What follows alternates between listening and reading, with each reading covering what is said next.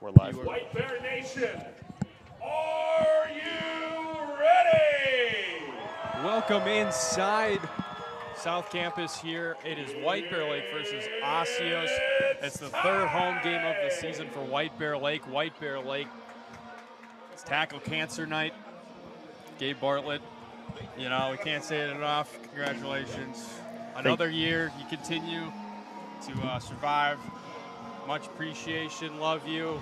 As he's ready for football, he came back just for this game, not for any wild games, nothing like that. He's here for White Bear Lake football. He's here to cheer on his uncle.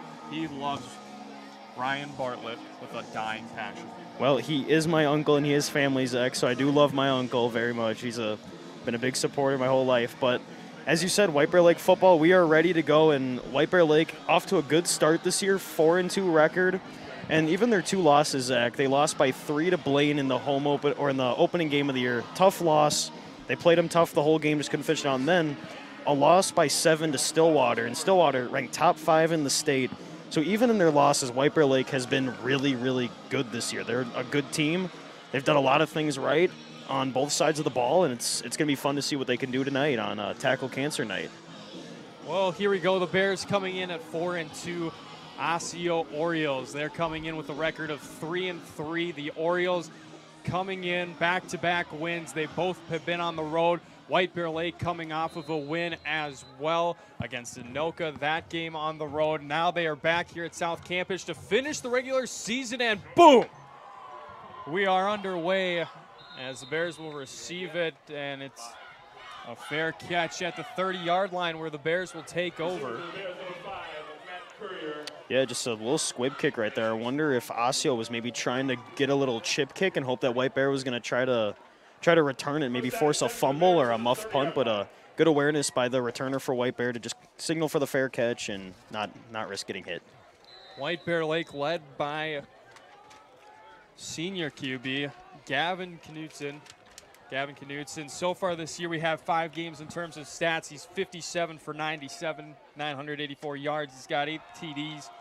Maybe he has over a thousand. We don't know as the play gets blown up early for White Bear Lake. A short gain on the play. Gavin Knutson, he's been solid for the Bears. He's looking to get things done. He also has an amazing backfield as well. The backfield for White Bear Lake mainly consists of Chris Heim and Kashawn Lipscomb. They've been excellent this year. They love to do jet sweeps with Ray Sean Breaks, who I remember him frequently last year. Speaking of Rayshon breaks, Look at that. Ray Sean breaks into the open. He has one man to beat. There he goes down the middle of the field, still on his feet, racing 10, 5, and then he's brought down on his ankles to the 5. A quick pitch. It's Ray Sean breaks, the speedster himself, getting this place electric. The crowd loves it, and we have an early first and goal on the second play of the game for the White Bear Lake Bears.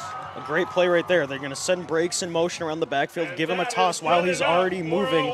So he's got a ton of speed moving forward. And White Bear Lake, great blocks. He, I don't think he got hit until the five yard line on that play. Rayshawn breaks. That was his 36th carry, or excuse me, 25th carry possibly. We have through fifth five games. He's been excellent.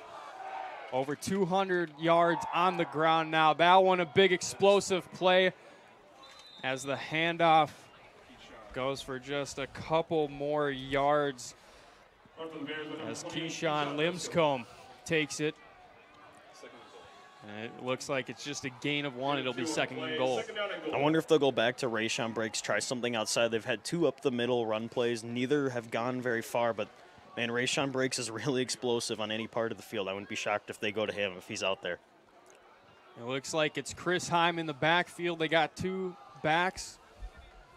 Knutson takes the handoff off to Heim. Heim running, breaking through tackles in four yards. score for Chris Heim, who is back tonight, and he has been excellent. Add another TD to him and the Bears here on the board early. What a great drive there.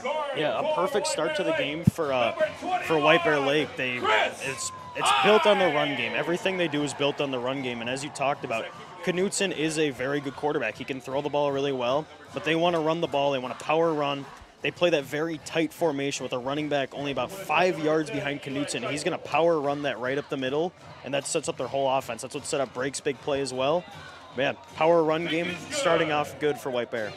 Eli Trikel with the extra point.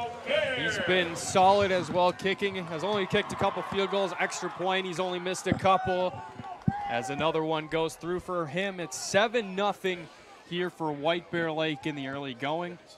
Well, we're going to get to see the White Bear defense now, which has been a very solid unit and a guy to watch. Number 12, I believe, Michael Delaney, a senior. He has had a absolute tremendous year defensively, forcing turnovers and making plays. He's been outstanding. ladies and gentlemen Yeah, it'll be interesting to see what happens for the Bears now defensively as they will get set to kick off. Only not even two minutes have gone by, a minute and 54 seconds gone. As Trico will get set to kick off, teams will reset. We'll see what Osseo has to bring. Osseo, they have a great run game. We'll get to that in a second. Freshman players will walk the stands during the end of the first quarter to collect money as well as at halftime.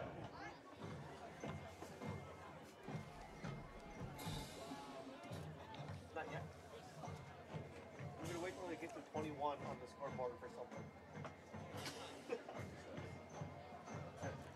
Eli Trikel getting set for the kickoff. Off his own 40. Short kick received at the 30 by the Orioles and quickly brought down. It's Michael Delaney, who Gabe mentioned just earlier, getting in the early tackle on special teams and the defense getting set to get to work here. Well, White Bear Lake does that little chip kick, and it worked earlier in the year. They had a play where they chipped it, and nobody on the other team returned it, and they picked it up, and that becomes their ball, and the offense got the ball right back. So I would expect White Bear like every kickoff to just do that little chip kick and try to play for a recovery. Well, the Osseo Orioles, they're led by senior running back BJ Zakil, who last week shredded up the field, had four touchdowns.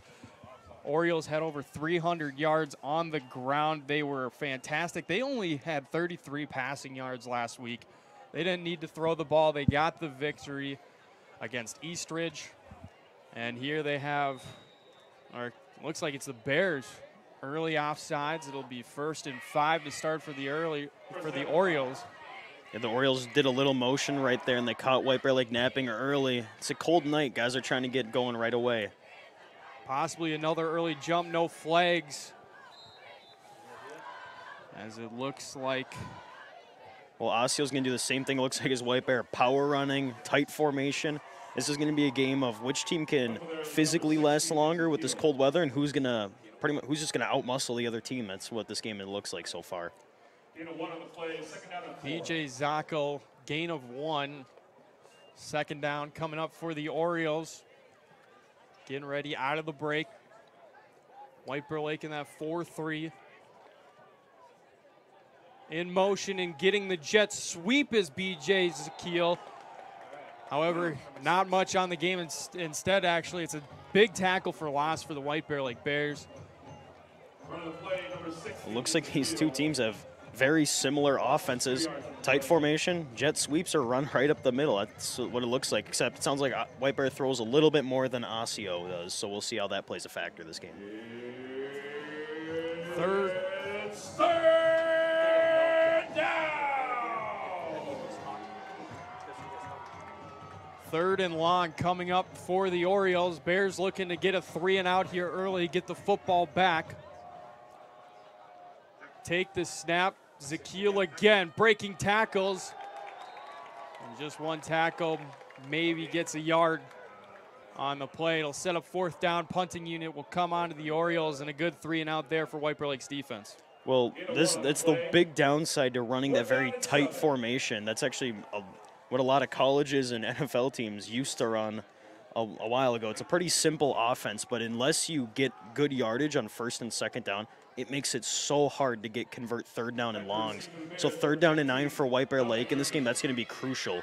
If it's anything less than third down and like five, it's going to be close. But if it's long, White Bear Lake's defense should make, be able to make a stop every time. Low snap and a very short kick just bounces past the 50, dribbles down, and the ball will decide to take a halt on White Bear Lake zone 43. That's where the Bears and Knutson will set up shop once again. Rayshawn breaks getting back on there. This receiving core for White Bear Lake, they played a lot last year. Obviously, Rayshawn breaks in the mix. Vital Henderson's back. It's a great wide receiver core. You got running backs returning. You got Lipscomb. You got Heim. So besides quarterback change, maybe some offensive line change, you got an offense that they've been together. It's exciting to watch as Knutson sends breaks in motion, gives the handoff, I believe, to that's to Lipscomb. Well, right there, Zach, they sent Breaks in motion and they faked the pitch to him. The, about half the defense bit on that pitch because Breaks had a big play, and they went to Lipscomb right up the middle, and he got an easy nine yards on the play because everyone was worried about Rayshawn Breaks.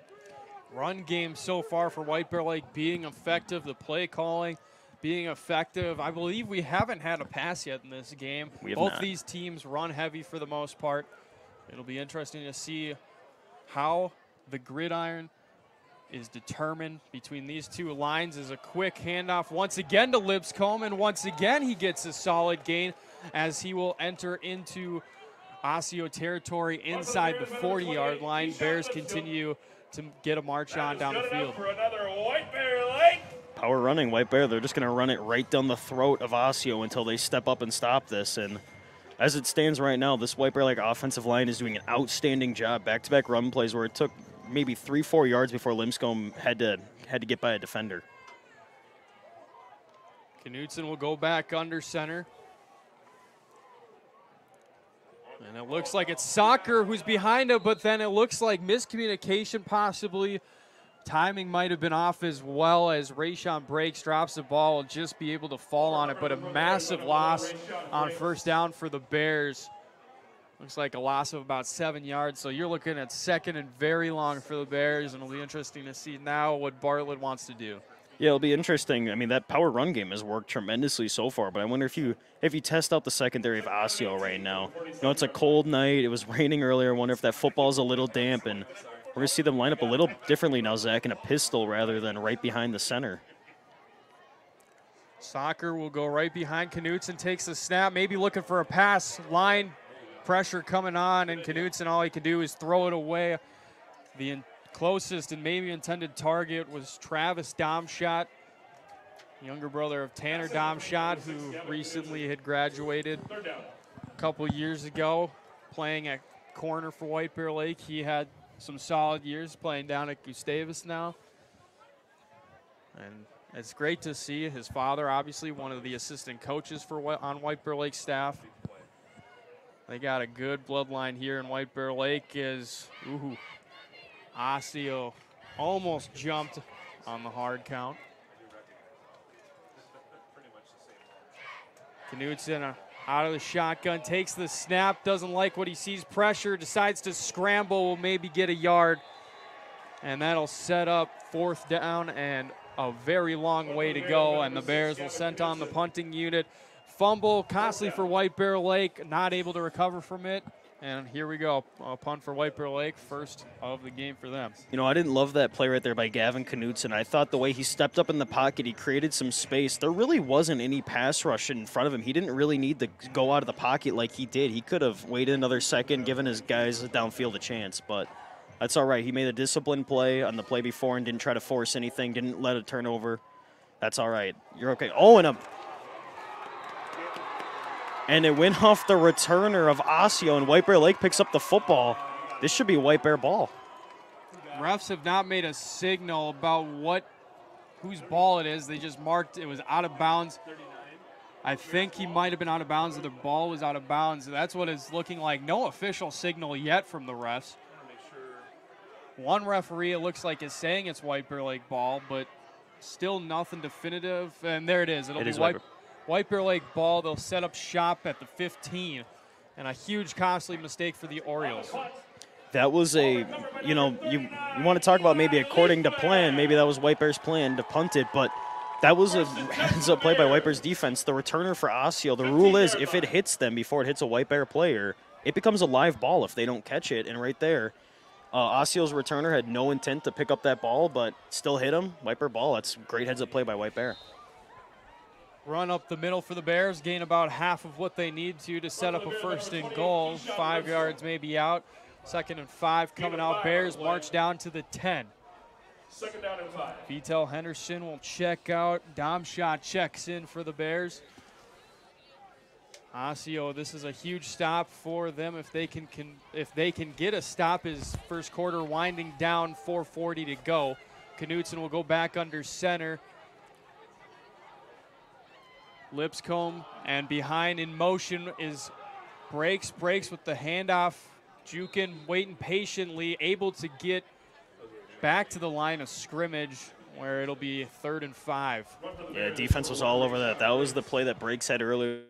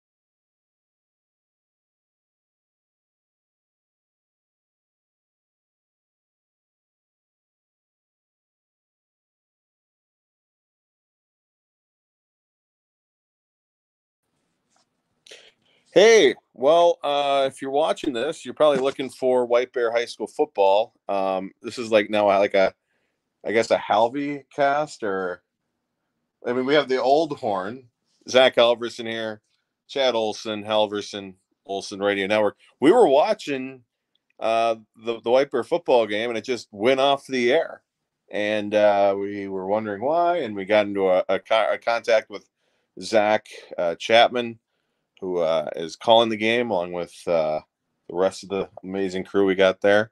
And um, well, the power went out. So the, uh, the the press box power is still out, from what I've been told. Um, and so is the lighting. They need lights to play. So uh, we will see. We're working on trying to get a connection back there because, as you can imagine, power goes out. Everybody uses their cell phone, and the towers are kind of jammed over there. So we're trying to work on other ways, but we just wanted to provide an update. Uh, thank you for tuning in, tuning into year 11. I mean, we started this thing in, uh, I mean, I, I think it was January of 2012 is is when we I started kind of formulating this whole idea, and it's uh, now October 2022. Did I do too many 20s there? I think it was the right amount of 20s. No, you're good. That's Chad. I didn't even give him permission to uh, go on. Anyway, that's uh, we have any comments here? I guess we uh, can check through there. Is the new stadium going to be ham- able to handle it when football can play there? I, I think so.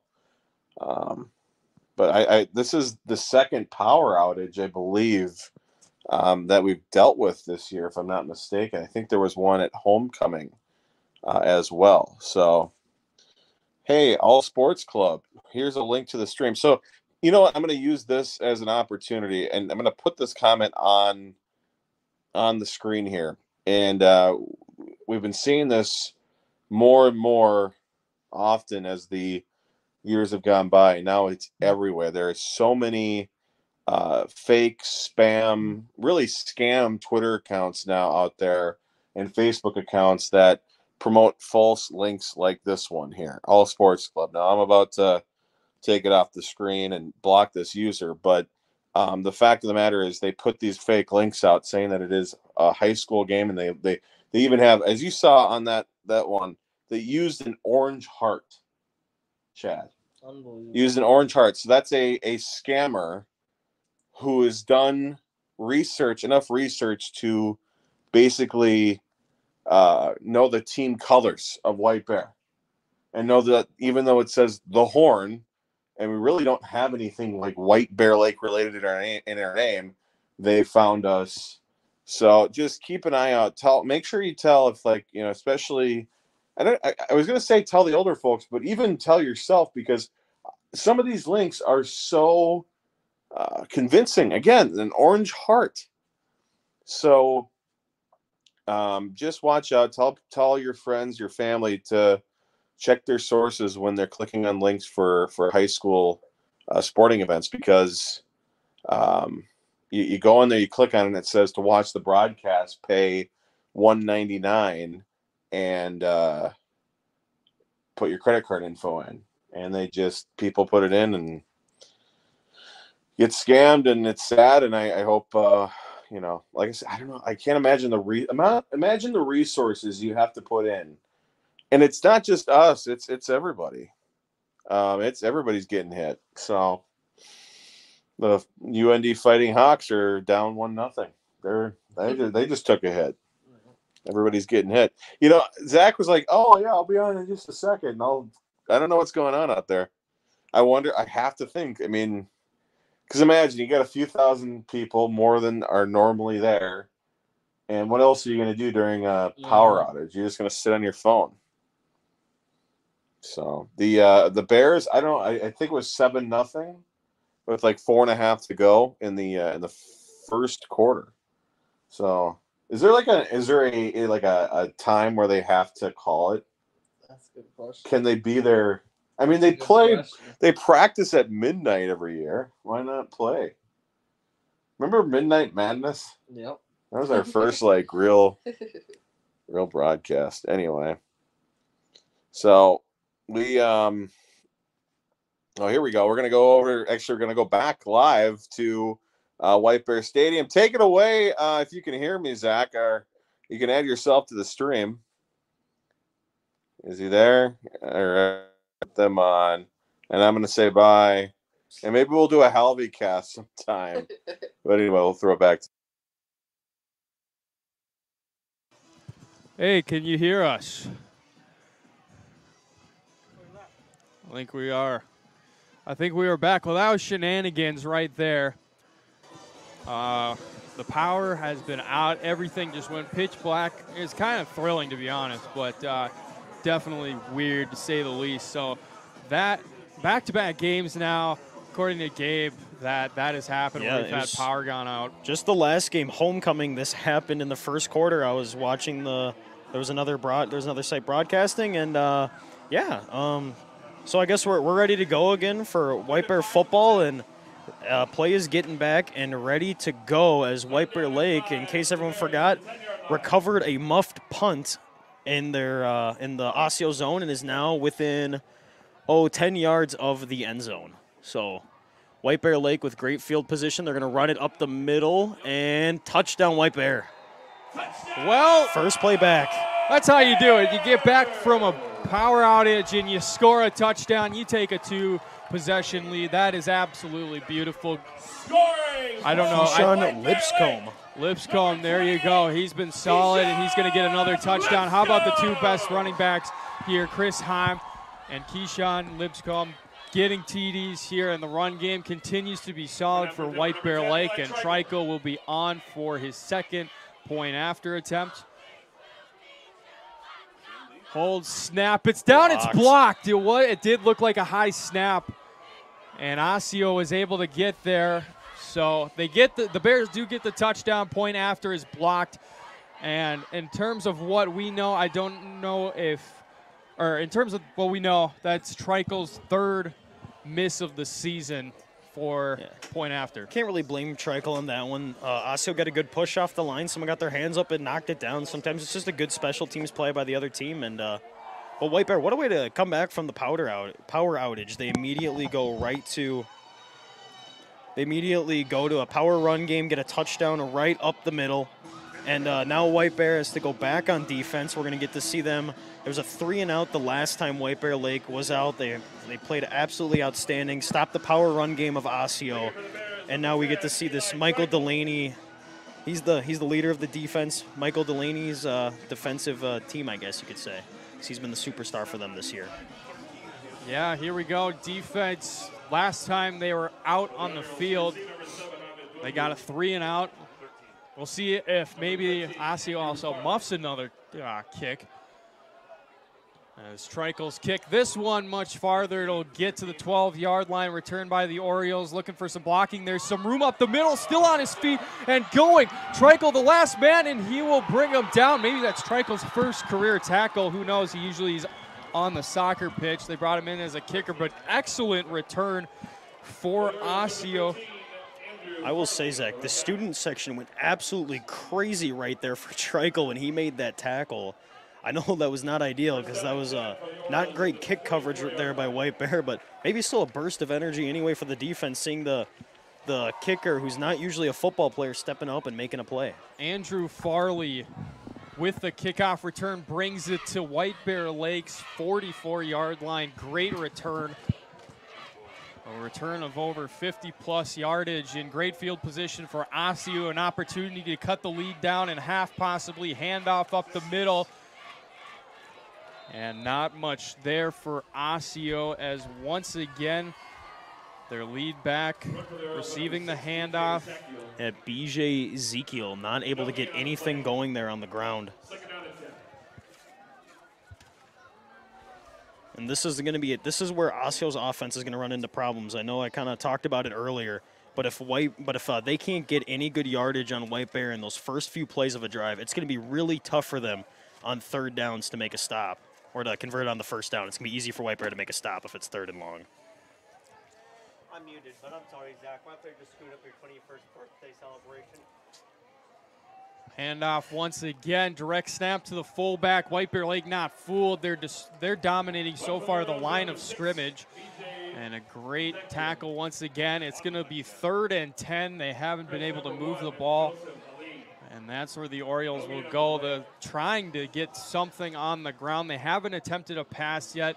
It was raining earlier, so the conditions not totally ideal for a passing game, but they're not totally a passing team as well. Hayden Potratz Going in a running QB. formation again, but I, want you, I feel like you have to throw right here if you're Osseo. Third down and nine, or third down and ten, and they can't really run the ball. It's gonna be tough.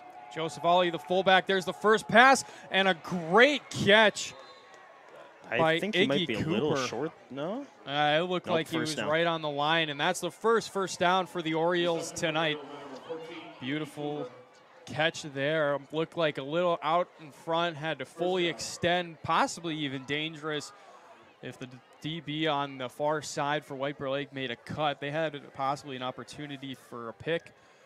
Instead, great Uh, pass for Potratz on his first attempt, and it'll go for 10 and first down. well, that's a tough spot for the White Bear corner. One-on-one coverage, third and long. Can run a few different routes right there. Good throw by Potratz.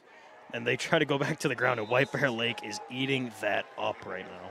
Orioles, they rely on it as Ollie gets the direct snap from the fullback position, and once again, he's stuffed.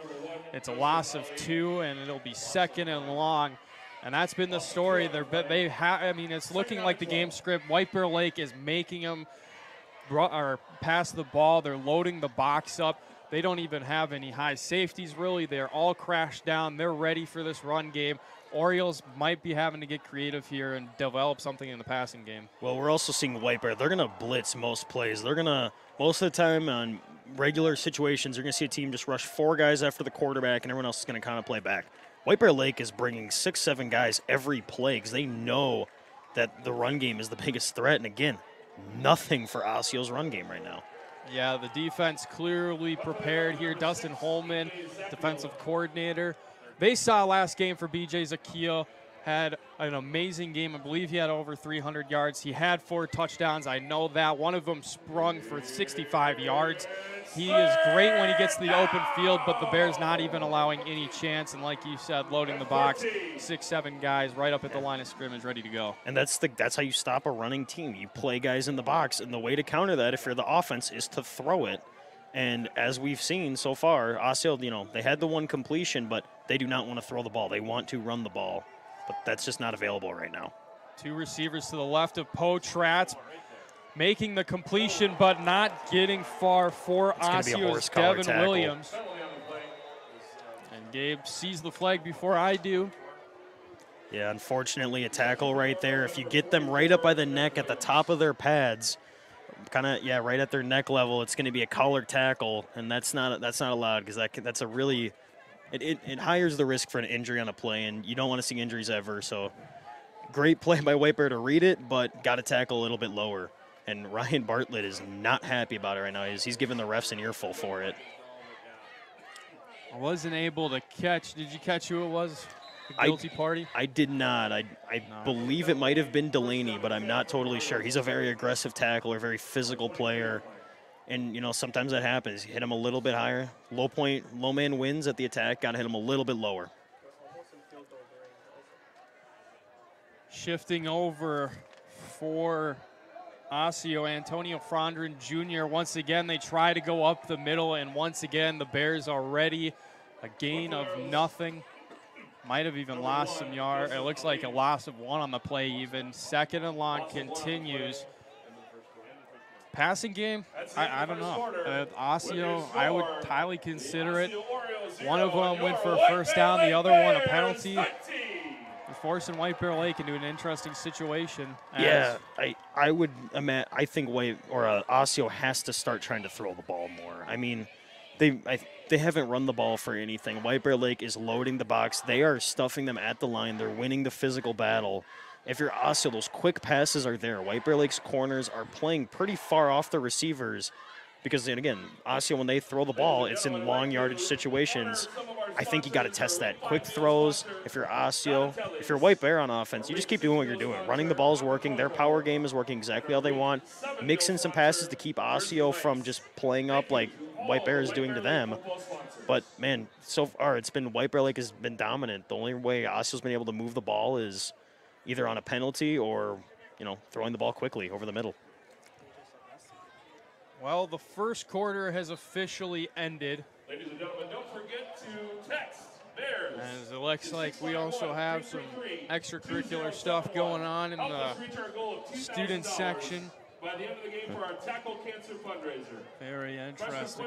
Police getting involved, it looks like. And we'll be doing that again at Yeah. halftime as well. Well, when the power goes out, you know, it's there's not a lot. There's a lot of weird stuff that might happen. You never know. I mean, you can't see what's happening. It didn't seem like anything too bad though, and you know, you never know. But hopefully, nothing major as we can get back to football here. When Osseo struggling to move the ball, second and eleven.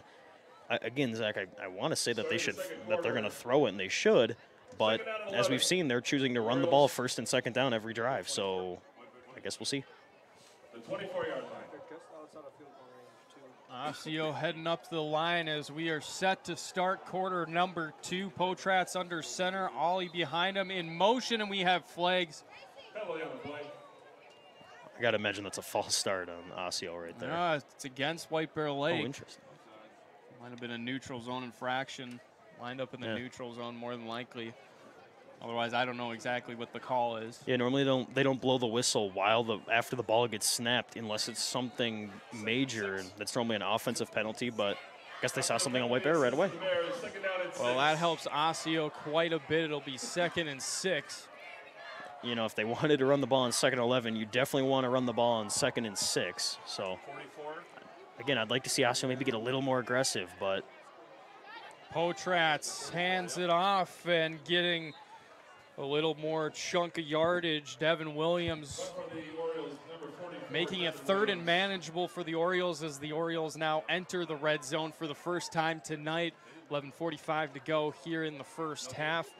No gain on the play. It'll be, I third guess, and six still. yeah, third and six. I guess no gain on the play. It looked like there might have been something, but we'll see what the Orioles draw up. Yeah, the Or Ori- Trats, maybe a pass coming. We'll see. I gotta imagine they'd be thrown. They cannot move the ball on the ground right now. I feel like they've had a total of maybe four yards on the ground on about six run plays this drive. You gotta throw it here, I think. Yeah, what set them up was this kick return and a jet sweep over to Williams. Gets a couple of yards, but that's not going to do it at all. Still three, four yards shy of the first down. We'll see if the kicker has any potential or if they're going to go for it. It looks like Potratz heads to the sideline, getting a play from his head coach. And White Bear Nation, It's a tough- That's a tough kick with these conditions. A lot of high school kickers don't have a lot of range. They look for a more accurate kicker, and this would be about 33 yards, 35 yards from where we're at. In these conditions, that'd be really tough. We'll see what Ryan Stockhouse, head coach for the Orioles, decides to do. Is possible a ju- possibly a Timeout. jump, and Orioles all they have is trying to force the Bears off sides. It looked like they were almost able to do so, but no flags come out of the pockets of any of the referees, and we have the first charge timeout to the Osseo Orioles. Yeah, Osseo, they're, they're mixing it up their run game a little bit, and I will say if they're going to run the ball, they should keep trying it the way that they did those last few plays. Before it was just run it right up the middle and try to just win the physical battle. Now they're having guys go in motion, trying to get White Bear a little off center, and then but they're still handing it up the middle. And I like the jet sweep that they ran, but again, White Bear Lake's defense playing really disciplined, staying on top of that. And again, other than the penalty and that 110 yard completion, Osseo has not been able to move this football. Yeah, well, Gabe, aside from everything, when did the Bears get these awesome rain jackets? The I've- nice warm jackets that you see NFL I've- players wearing. You wish that you had one. White Bear Lake's got them right now. Never had these in our years. We we did not, but I'd say that's a good investment, especially considering today waking up with snow on the ground. got to be able to keep your players warm. I know everyone else is mad about that. I love it. I'm I'm a I love the cold, but everyone else uh, disagrees with me. Orioles back up to the line in shotgun as Potratz fourth down takes the snap, looks to his right, fires into the end zone. well covered and broken up. No flags for pass interference, as it looks like Cooper was the intended target. And on the coverage for the Bears, Devin Mueller with the clutch stop for White Bear Lake, and it'll be first down, turnover on downs for the Bears, 17 yard and that's a big stop. I don't get the play call right there for Osseo. It's third. It's fourth down and short. I get maybe trying to take the take a deep shot, but you don't do it on fourth and two. You go for something quick over the middle. It's been there. It, the passing over the middle has been there. I don't mind lining up in shotgun. It gives them a different look, but I don't love that play call trying to take a shot to the end zone right there. Snap from Knutson, pitches it out to Breaks. Breaks still on his feet, able to break one tackle, and then gets swarmed by a couple of jer- people in white jerseys. Gain of about three. It'll be second and seven. Yeah, White Bear, they're, they're trying to get Rayshon Breaks involved. He's such an explosive playmaker, probably their most explosive playmaker last year and this year. Trying to get him involved. He had the fumble earlier, tough conditions. I like that play, though, that pitch play outside. Osseo keeps biting on it. Maybe they can t- try something over the middle. Knutson will be in shotgun to his right is Lipscomb. Lipscomb then motions. Looks like they might be switching the play up as Knutson ready to go under center. Lipscomb just a couple yards behind him. And it'll be a direct snap. Knutson and Lipscomb collided for a solid second. It looks like maybe disrupted the momentum of Lipscomb as it's a gain of only a yard. And it'll bring up third and manageable. Third and about five for the Bears. Yeah, this is where you can get creative as a play caller because now this is a, a situation third and four where running the ball has been working, but if you wanted to throw, this is a good situation to throw as White Bear hasn't done that much. They've only had two pass attempts this game. When you've got a quarterback with over 900 passing yards, I think you give him a chance here. Maybe the play they were looking for originally as Knutson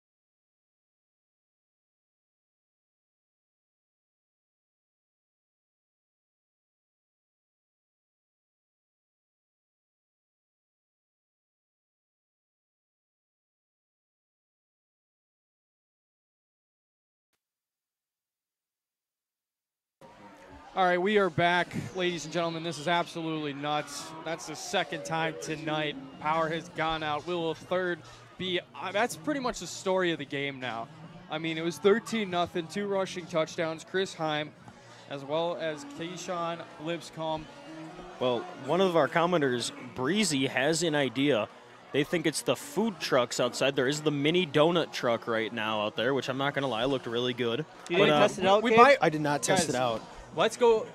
How much money do we got? And we do have Joshua we can Dorr here all with the us on product. the Let's buy now all as the well. product. Let's get this game going. I'm, I could go for some mini donuts personally, and let's just get this game going. And you know, I'm going to just throw this out here because I don't know if this game's going to get underway again.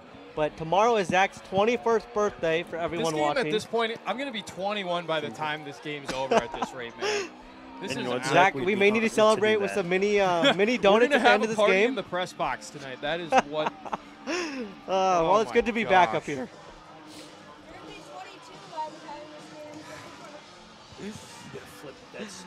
Oh my gosh. Well, the Bears are returning to the field. Osseo back on the field. Brian Peliquin, and it looks like head principal Don Bosch have been communicating, trying to figure this out. But this is nuts. We will presume more than likely if power goes out a third time, the game will be called. That's kind of what we're expecting at this point. If that is to happen, whatnot, we will, as soon as we can get service, we will try to broadcast. Um, we will try to put it out on Twitter, social media that the game will conclude. Yeah, we we'll try our best if the power goes out, but right now we're gonna have White Bear Lake out on the field on offense. They're gonna start with the ball a second time for the power outage, third down and four. White Bear Lake in the pistol and a timeout. Just so everyone also remembers, that is the second now, so we have switched sides. If anyone has forgotten during all the uh, power outages, And despite the power outage and having a bunch of time to prepare what they wanted to, Osseo takes a timeout. So I'm not really sure what they were discussing during the power outage, but Osseo takes its second time out of the half, and that's another thing. We're only about three minutes into the second quarter right now, and we this game has technically been going for about an hour, so it's a little bit behind schedule. I, uh, I, I don't disagree. Get it. Yeah, well, Osseo, they might as well use their timeouts while they still can, I guess. I, We hope that it doesn't happen again, but you know, the, I, tonight's just full of surprises, I guess. What a fun start to the horn season for us here. I don't even remember what it. Okay, we got third and four on the Bears' 23-yard line. It looks like Knutson's in the shotgun. We got Lipscomb behind him, or it's pistol formation, excuse me. Clock rolling. We've hit nine minutes to go here in the second quarter. And what feels like probably already been an hour as Knutson will scramble to his left and doesn't get much as he gets hammered. Ooh, yeah, he's getting up slow after that one. Yeah, he definitely felt that. He is okay, able to get up. However, there is an injured Oriole on the field. And he is struggling to get up. I believe that is number 32, Caden Crutcher. I believe is the Oriole down. Not the sight you want to see. And now we will have an even more extended stoppage for at least briefly for an injury. So things now just starting not to go anybody's way. Yeah, you hate to see an injury, no matter, no matter what, no matter the level. You hate to see injuries. So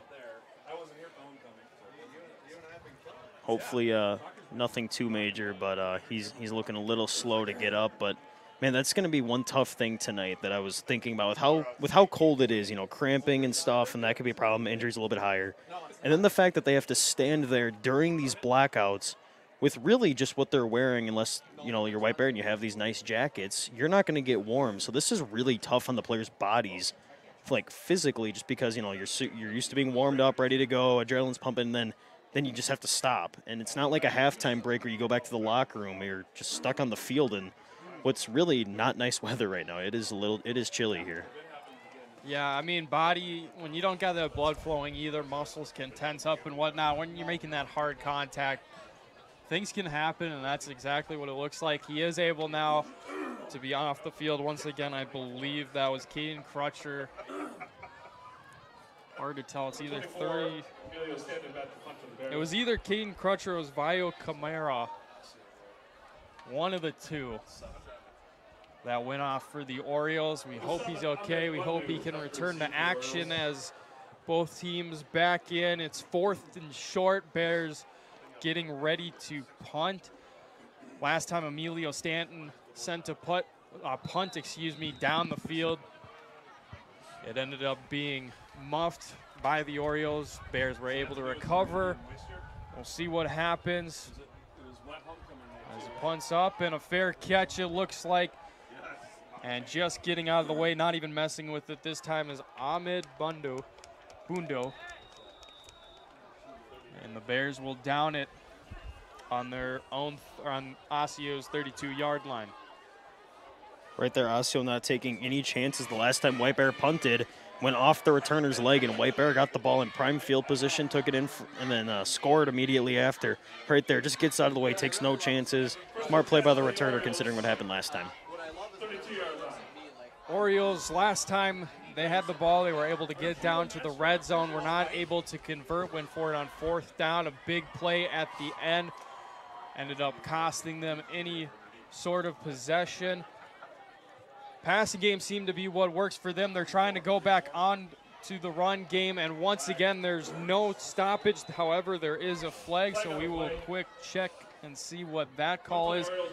It does look like it's a face mask, and I'm more than likely going to assume this is going to go against White Bear Lake once again. Yeah, when you see a bunch of guys hit the running back like that, you know, the, all of them are trying to find their, their piece of flesh to say to grab and bring down the tackler, and sometimes you actually get a hand up high, and that's the second costly penalty by White Bear this game. They've been stuffing the run, and no matter where Osseo tries to run the ball, but these little penalties, they can come back to bite you, especially if Osseo can find some kind of rhythm on offense. Osseo's biggest plays, as you mentioned, have just come off of personal fouls, 15 yard penalties.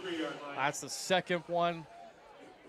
DeVette, Holman can't be too pleased with that. Anybody on the defensive side of the ball for White Bear Lake. They've been, like you said, Gabe, able to stuff it as Zachiel now able to get a solid run, still going. Multiple people pushing the pile and works his way for an 11, 12 yard pickup. And what a play from BJ Zakiel, who has been shut down this whole game, but this one just great power running, using his legs, everybody tackling high, and he drives for a big first down for Osseo. That's really the first good run play that Osseo I've seen so far from them, and you know, again, that's that's what you that's what they're trying to do. That is their game plan is to run the ball. Like then, they finally found some success, but again, they got to mix it up a little bit here. The, the run game is just not there. I know they just had a 10 yard carry, but you know you can't rely on the pile being pushed 10 yards every play right now. Under center and handing it off once again, it's Zakiel. Try to go back to the play that was just recently successful. However, it's stuffed right at the line. Yeah, that's again, you know, you can push the pile one play for 10 yards, but then the next play, White Bear Lake, they stand up, put, push it back, and halt you at the line of scrimmage. It's it's really tough for Osseo to move the football anywhere on the ground right now. You again, they gotta try to throwing throw try throwing the ball. It has worked for them so far. Quick substitution in as Malik Dumbia is on the field for White Bear Lake. Helmet came off.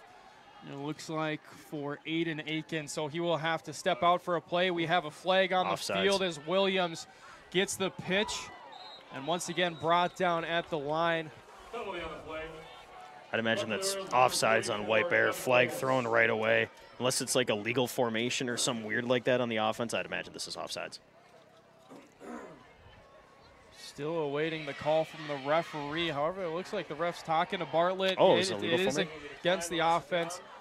It was an illegal shift on on uh, Osseo. Again, one of those weird little penalties. It just means somebody uh, or more than one player was moving when the ball was snapped.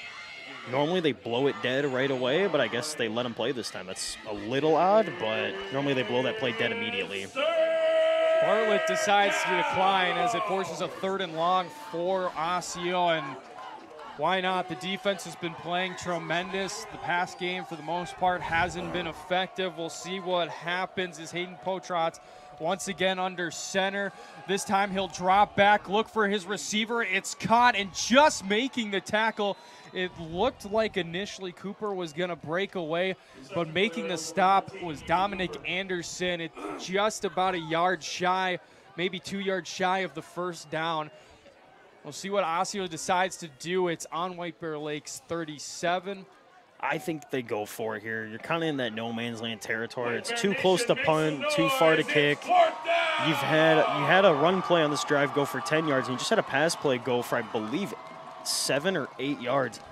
I'd like to see them throw it again here. I know they they're gonna try to power run this thing up the middle, but I'd like to see them throw this. Prowitz in the offense heads up early to center. They decide to run it. It's Zakil, and he is right at the line. It looks like he's going to be marked short. He's not going to get it and White Bear Lake with a big stop on fourth down once again. Matt, Orioles now 0 for 2, and the Bears offense will take over. Not bad field position at all. It's going to be at the 36 yard line. It was Michael Delaney. He made first contact that fit their physical leader, safety of this team. Made contact at the line, and then about four or five Bears came swarming and pushed the pile back. They're not going to give Osseo that again. I, Zach, this run game is just not there for Osseo. I've said it 30 times already, and I'm going to keep saying it. They need to start trying to throw the ball. They are moving the ball through the air. On pass plays right now for Osseo, they've had two completions that have almost been first downs and a forced penalty. You got to keep going to that. Knutson will hand off, give it to Lipscomb, goes up center, gains a few yards. He'll be brought down. Bear Lake also trying to get the run game assessed. They've had a lot better success, especially with Rayshon Breaks on a couple of sweeps. Chris Heim getting in the end zone. Lipscomb as well. A score 13 0 with five minutes and counting to go here in the second quarter. We'll see if we make it to the end of the first half without another power outage. Fingers crossed. So far, it's been one a quarter, so we'll see how the rest of the game goes. Hopefully, it's maybe not stick to that trend, but timeout by White Bear. Don't exactly know what Bartlett saw, but he didn't like something. And White Bear Lake will use their first timeout with 4:42 to go. Like we said, 13 to nothing. It'll be second and seven when the Bears get back onto the field, and we'll see what Bartlett draws up. I don't mind the timeout right there. White Bear Lake has not really moved the ball well their last few drives. Osseo's defense been standing up and stopping them, and there looked to be a little bit of a miscommunication between um, between Knutson and his receivers, maybe trying a pass play. So Bartlett, I think, wisely takes a timeout there, get the defense or get the offense reorganized, see what Osseo maybe adjustments they had made, and now can call a play to, to counter that. Offense and defense heading back out there. We'll see White Bear Lake now down to two timeouts remaining in the first half. As for Osseo, they got one left. So we're already using those timeouts. I think it's going to be a passing play here for White Bear. Shotgun for formation for Knutson. He'll drop back. His lips going heads up field, stepping into the pocket and being brought down. Huge sack for Deshaun Ricks. The big 6'3, 240 pound senior defensive lineman getting into the backfield, penetrating the offensive line. And a big sack forcing a third and very long for White Bear Lake. Yeah, it's a shame. If Knutson would have had even a split second longer in the pocket, Rayshon Breaks was about to be wide open on his crossing route, but good pass rush by Osseo. You know, we're seeing this defense right now really step up. The first drive looked like it was me all white bear. They're making some big plays right now for Osseo. Pistol formation for White Bear Lake. Two receivers set aside, and they're going to set up the screen for Henderson. He's been quiet all night. He's got, he's he's breaking free, going down 30. Henderson racing. Will he get there? Big brought down just shy. Great pursuit from Tamisa Donato, who saves a touchdown, but great screen blockers out in front. Vitel Henderson I mean, he was going quicker than I could even say any of the yard lines. I was having to process quick. what a play from White Bear Lake, first and goal once again. That was an outstanding play call by White Bear. I know you guys can't see Zach Chapman in the booth, but he was jumping up and down like crazy right there. That was hilarious. He just but, almost um, pushed me in the face. He did almost hit Josh as well. but that was a great play call by White Bear. Everyone was expecting a deep ball. White Bear Lake goes with that quick screen, Great blocking by the offensive line. They got upfield into those linebackers, and Henderson didn't get touched until the safety brought him down. Great play call. Now I expect that power run game on the goal line, and they're going to try to punch it in here. They've got a big body set. White Bear Lake does. As they give the ball off, but nothing is able to happen. We don't have the number for who is in the backfield for White Bear Lake, but number 74, whoever that is, trying to make the block for what looked like Lipscomb, but we've got no gain, and it'll be second down. I've always thought about that, especially in the NFL too. When you're on the goal line, when you get that close, put extra linemen, those extra big guys in the game to give you that push right up the line. And if you run into that pile where the running back gets stuffed, those big strong guys are going to push that pocket or push not the pocket, push that pile forwards especially on the goal line here, that could be the difference between a touchdown or stopped at the one. Well, it looked like something the Gophers might even do. They've done that a few times this year, and it's worked. In motion and a jet sweep pitch over to Rayshon Breaks, who is inching closer to the goal line. I believe he stopped at the two yard line. It'll be third and a long two yards for White Bear Lake. This is four down territory for White Bear. If you're, I think they're going to run the ball up the middle here. You know, third down and three. If you get a yard or two, I think you go for it again on fourth down. Your defense has been so amazing this game. They've been stopping Osseo. I think if you don't get the touchdown here and you get positive yards, though, I think you got to go for it on fourth down. Go for the touchdown and know that your defense has been able to make stops the whole game late in the quarter. Ball is placed on the three yard line.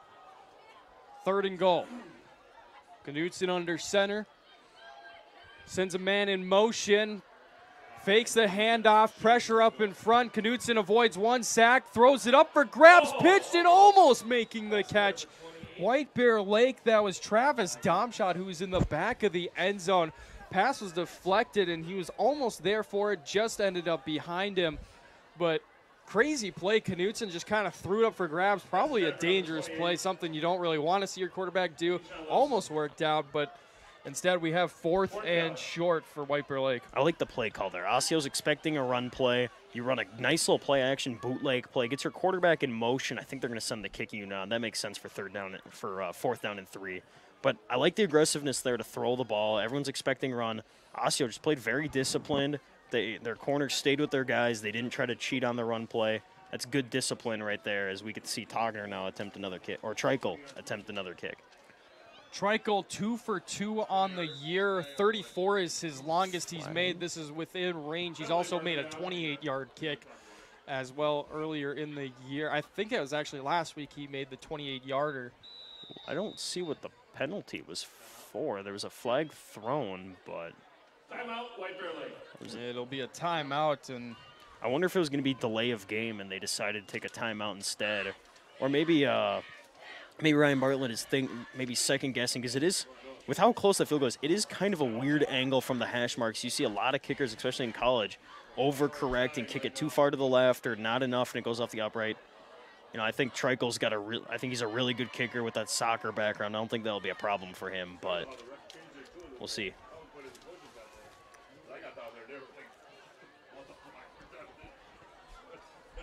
Osseo now heading back onto the pitch. White Bear Lake getting ready.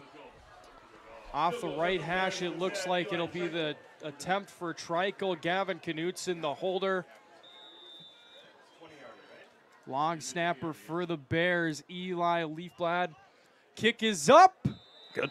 And it's good. So three for three so far on the year for Eli Trikel. First season and last season as kicker as he's a graduating senior. But a big field goal, putting the Bears up 16 to nothing and making it still a two possession game, but you'd have to put up eight points on each possession if you're Osseo.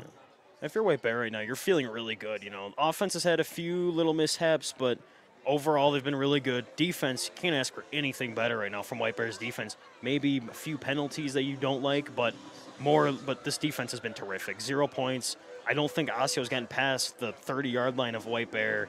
You know, White Bear a lot going right for them offensively. Have a few little things to clean up. Maybe uh, you know try to try to call some pass plays, get uh, get Knutson going a little bit. They've been a little bit stale, but you know going into halftime, you know assuming they don't give anything up, which you know you never know, but if they make a big stop here against Osseo at the end of the half, they should feel really good about this going in.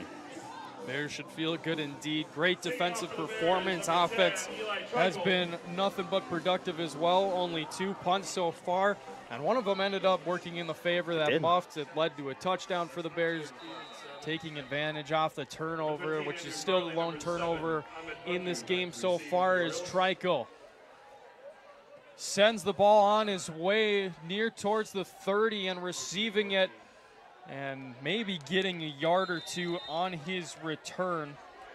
Well, pooch kick again, trying maybe to, to catch that guy off guard. You know, if he doesn't take a fair catch or if he muffs it, trying to get the ball in good field position.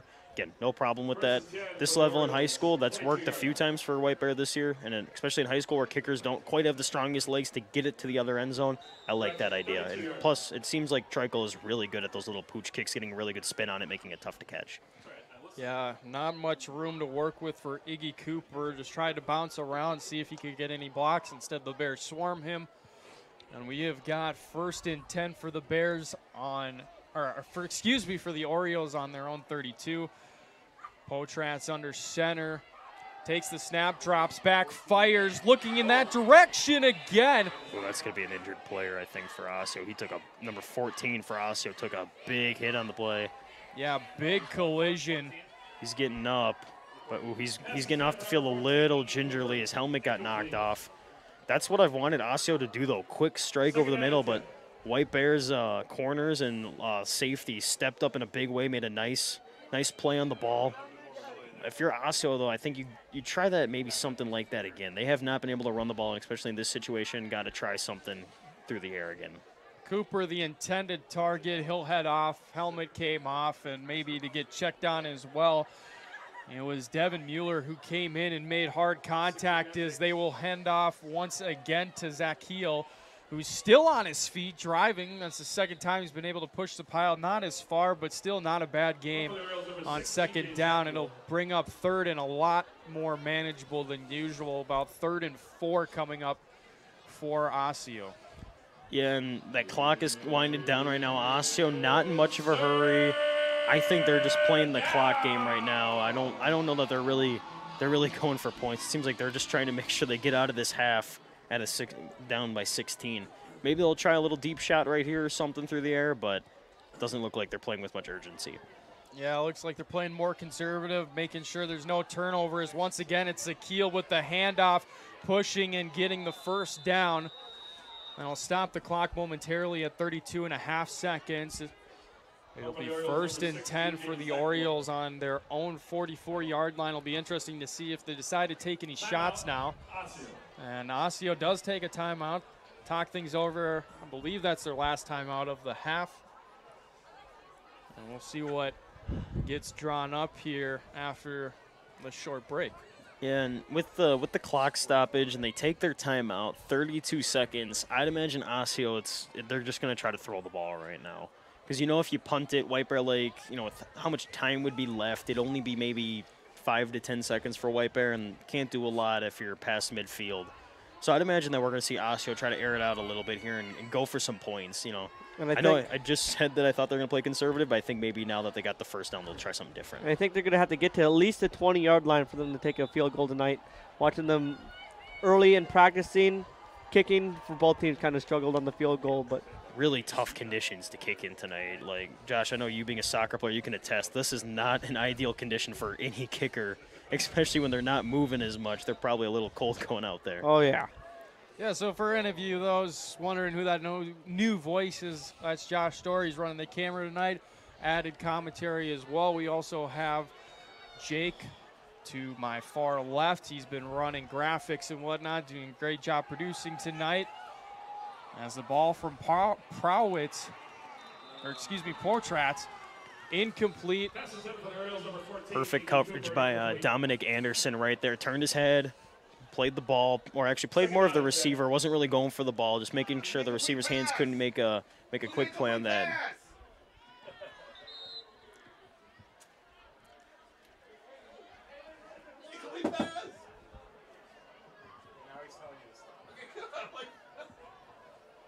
He's, he's swung his arm. What time do they want? No. What time did you want? Uh, confusion up here in the press box. I don't know exactly what's going on, Gabe. The receiver did the arm motion to keep the clock moving. The clock operator saw that and thought that he wanted the clock moving, but there should have the clock should have been had been stopped. Now there's confusion trying to figure out how much time should be should be left right now. I believe it was 27 seconds. That sounds right. And I know the Osseo coaches to the left were were not happy.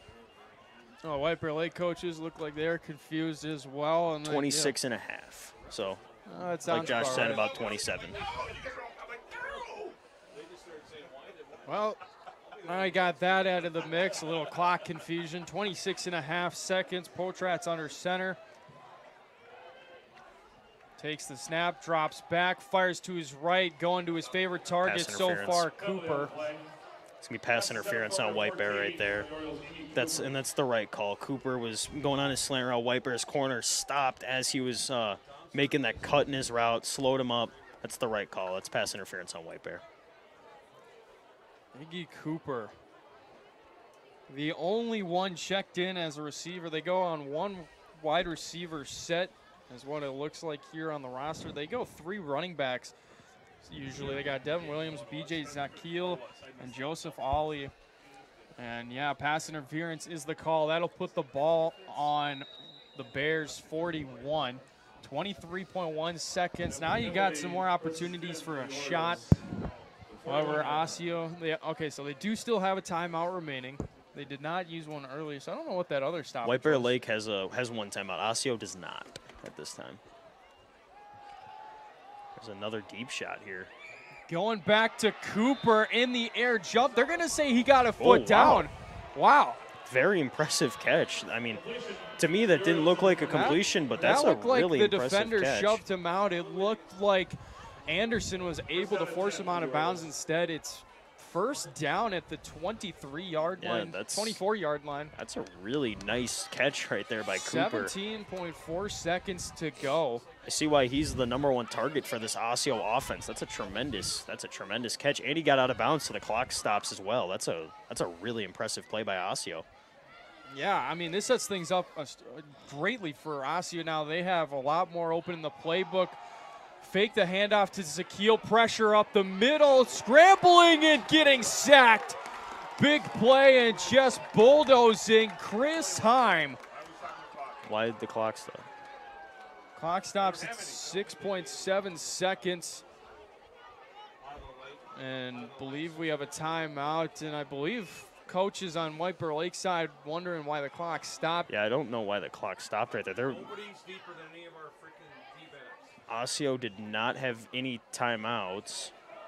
Maybe did White Bear Lake take a timeout? Timeout on the field. Oh yeah, White Bear Lake took theirs. Oh, scoreboard confusion. It looks like two the timeouts are they added one to White Bear Lake. I don't know. Yeah, I'm a little bit confused right now, but uh, nonetheless, a timeout taken on the field. But right there, that's a that's a not a great play right there by the quarterback for Osseo. In that situation, you got to throw that ball away.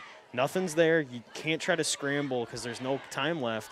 You just got to throw that ball away. But he tries to make something happen with his legs, and, and then he gives up a sack, and they have to take a timeout. That's you know that's part of just being an inexperienced quarterback. You see that a lot in high school, even in college. You see that a lot too with a lot of the with a lot of quarterbacks. It's a really tough thing to learn while you're in a game situation like that. So I get that, but he's got to know to throw that ball away sometimes. Yeah, I mean he had heavy pressure too.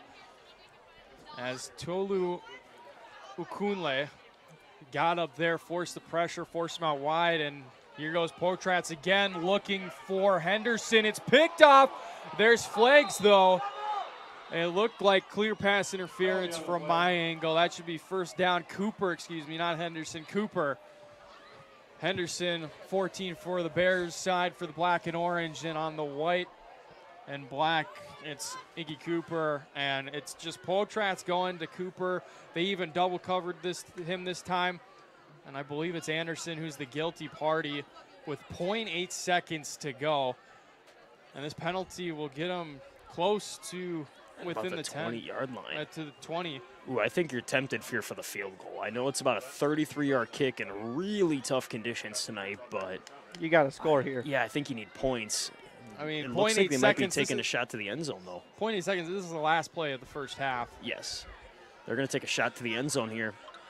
They are going for the lined up in a tight formation. I don't get that. It's going to be Bryce Hawthorne who lines up behind Potratz, drops back, firing, and almost picked off. It wouldn't matter as the ball was well underthrown. Target was Sawyer Nelson, and the Bears end up making the crucial stop, bringing us to the end of the first half successfully without any power outage for the third time. 16 nothing the score here. Gabe, your thoughts?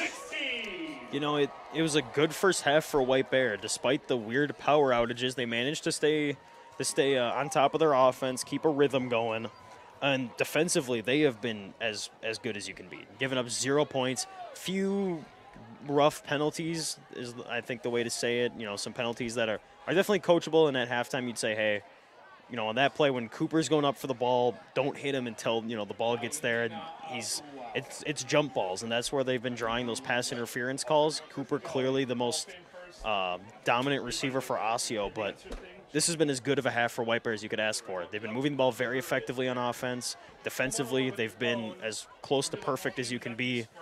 And if you're White Bear, your your message at halftime is, hey, keep the same thing going, keep the physical physicality high, stay tough, and keep that keep that run game go, going.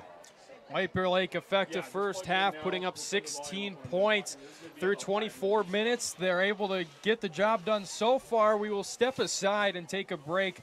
As tonight we've got the halftime class being announced for White Bear Lake. We will return shortly, give a little more analysis on that first half, what to look forward to in the second half. Stay tuned. You are watching the Bears versus the Oilers. Oh my goodness, the Orioles. Orioles. I cannot speak. The Orioles here on the horn.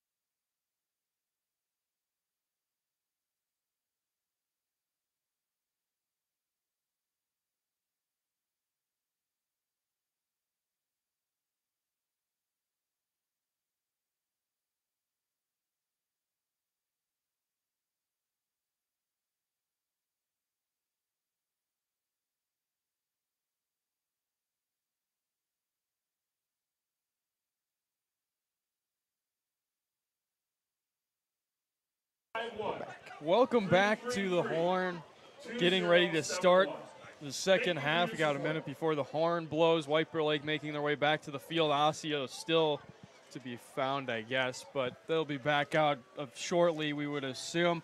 Gabe, we'll recoup first half again, a little more insight, but also what do you expect to with the Bears second half? What do you think they need to do to continue to be on pace to pick up win number five, head to five and two on the season, and that- before they head uh, on Wednesday against Totino Grace, possibly end six and two heading into the postseason. That would be nice to see from White Bear Lake. But what do you think the Bears need to do to lock in second half? Um, and what do you think to build off of that first half? Um, Well, I think uh, the defense. If you're um, Dustin Hol- Coach Holman, you're saying just do the same thing. Second in the second half, maybe limit the penalties. You know, if you're gonna if you're gonna hit somebody hard, hit them clean. Don't go. You know, don't hit them high. Hit them low. But they have been absolutely terrific defensively. So. Um, Holman, I'm, I'd be willing to bet he's just saying defense. Keep playing physical. Keep playing tough. We're winning the line of scrimmage. We're stopping the run when they're when they're playing when they're uh, throwing. Wait for the receiver. Wait until you see the ball. Be patient. When you know uh, the quarterback, he's not throwing it very hard. It's a very much a lob. The ball hangs up in the air from it. That's how they're drawing those pass interferences, or how Osseo is. So if you're a white bear, you just say be patient on the ball. Wait till you see it hit his hands, and then make a play on the ball. Don't try to make a play before the ball gets there and take a penalty. Offensively, it's play physical, pound the ball, run the ball really hard at uh, Osseo. That is how White Bear Lake starts their offense. That burns down the clock and that gets defense tired. And that gives the White Bear defense time to make adjustments on the sideline, play tough, play physical. That's really what I think White Bear, that when it boils down to. Just play tough, play physical, stop the run defensively, and run the ball well offensively. That's what the keys are, basically. Oh, see what happens if they are able to. If they are also able to hang on, I don't know if you know this, but they are undefeated at home currently, three and zero. You think home field advantage is a real, a real thing here? Do you think Coach Bartlett? Do you think they play better? You think what is the scheme behind it? They're two and two on the road. Well, just remember, Zach, we are broadcasting right now, and there is a thing called the broadcaster's curse. I've seen it a lot of times with NFL announcers, and you just said White Bear Lake has not lost at home. That just got me worried. My Josh, birthday do will wanna say? cancel that out. Josh, what do you But want to say? I would say White Bear has a secret weapon, and it's the power outage. They have Yes, trained for this they have. for two games now, and they have it in their back pocket. Yeah, they were ready. They were ready when that power outage happened. I don't think that played much in the the factor as the offense slowed down after that. But yeah, Josh, you, could be onto something. The power outage could be their secret weapon. Bears, if they are able to hang on, they'd be three and zero at home. They'd advance to four and one on the conference, like we said earlier. Five and two. Osseo returning to the field somewhat. There they are, returning to the opposite side of the field. We are ready to go at this point. Whenever Bears looking to hold down the fort defensively. Knutson, he's been solid when need to be, but really Rayshon Breaks too. He's been great. The jet sweeps have been great. Both Chris Heim, he's had some great things, but Lipscomb, especially in the run game, has been excellent. That screen too. Do you think they're going to have any more screens like that where they had the Vital Henderson, where that went for over 50 yards? Oh, absolutely. They they you got to bring that play quality. Well, depending on how if this game gets closer, if the offense starts getting held strong, I think you got to try that again. Or maybe they have another play built in that kind of fakes that screen and does something else because you know if they call that screening and Osseo's going to be ready for that. But if there's another type of play that they could call to give that same look, but not throw the screen, that could totally catch Osseo off guard in the second half. Or even for future teams, you know, use that screen now, knowing that teams will see that on film, and maybe in the future develop something else that counters that. You know, it's it's it was a terrific play call, and that play again went for crazy yards. But I expect White Bear maybe to just keep it simple for the second half of the offense with how good their defense has been. Keep it simple offensively, just burn the clock, and uh, you know, chip away long drives. You know, if you can get you know 12, you know 13 play drives that go, you know five six minutes and burn that clock down and end it with a touchdown, that's perfect for Bear. That's exactly what they would like to do the second half. So do you think too, Bear Lake, their defense, they've been shutting down Osseo. Do you think this second half the Bears go really run heavy, just try to milk clock right away? Do you think they maybe wait till the fourth half, have a balanced attack? What do you what do you think? Because I mean, both aspects have been good. I think they've struggled more in the passing game. Oh, sure. Offensive pass blocking. It's almost like the opposite of the Vikings looking at them. The, the pass blocking on the Vikings amazing, and then run blocking, yeah, it's iffy. But you know, they on here for the Bears, they, run blocking. You've seen it. They've been able to move the ball constantly down the field. Passing, they've given up quite a few pressures to Knutson. He's taken a sack or two. A lot of it has to do with just the experience of a high school um, a high school player. You know, a lot of linemen. It's a lot easier for a for anyone to go forward rather than step back. And when you're pass blocking, you're moving backwards, trying to wall them off, trying to wall that guy off. But when it's a but when it's a run play, you just get to run straight ahead, and you get to just try to outmuscle that guy in front of you. And when you're facing, and when White Bear has a very tough physical offensive line like they do, that was the one thing my uncle Coach Bartlett told me is he said his offensive line loves the run game because they get to be physical, they get to go right at the other team. They love that. So I, I would expect them to run the ball a lot. They've been way more effective on the ground. You know, keep with the sweeps and stuff to give Breaks the ball too, but I expect them to power run the, the ball against Osseo the second half. And we are underway from the second half as Trikel with the kick, and I believe Osseo was expecting it to go out of bounds in a horrific return. However, Oh, there's another face mask on the play, but I mean, that play did not look pretty whatsoever. Ahmed Bundo, who's also been struggling too in the return, I believe he thought it was going to go out of bounds, maybe get to the four yard line or so. That was the play against Anoka on homecoming that they did that same pooch kick, and that ball went back. And the player for um, Anoka did not go for the ball. He left it, and White Bear Lake picked it up, and that makes it their ball.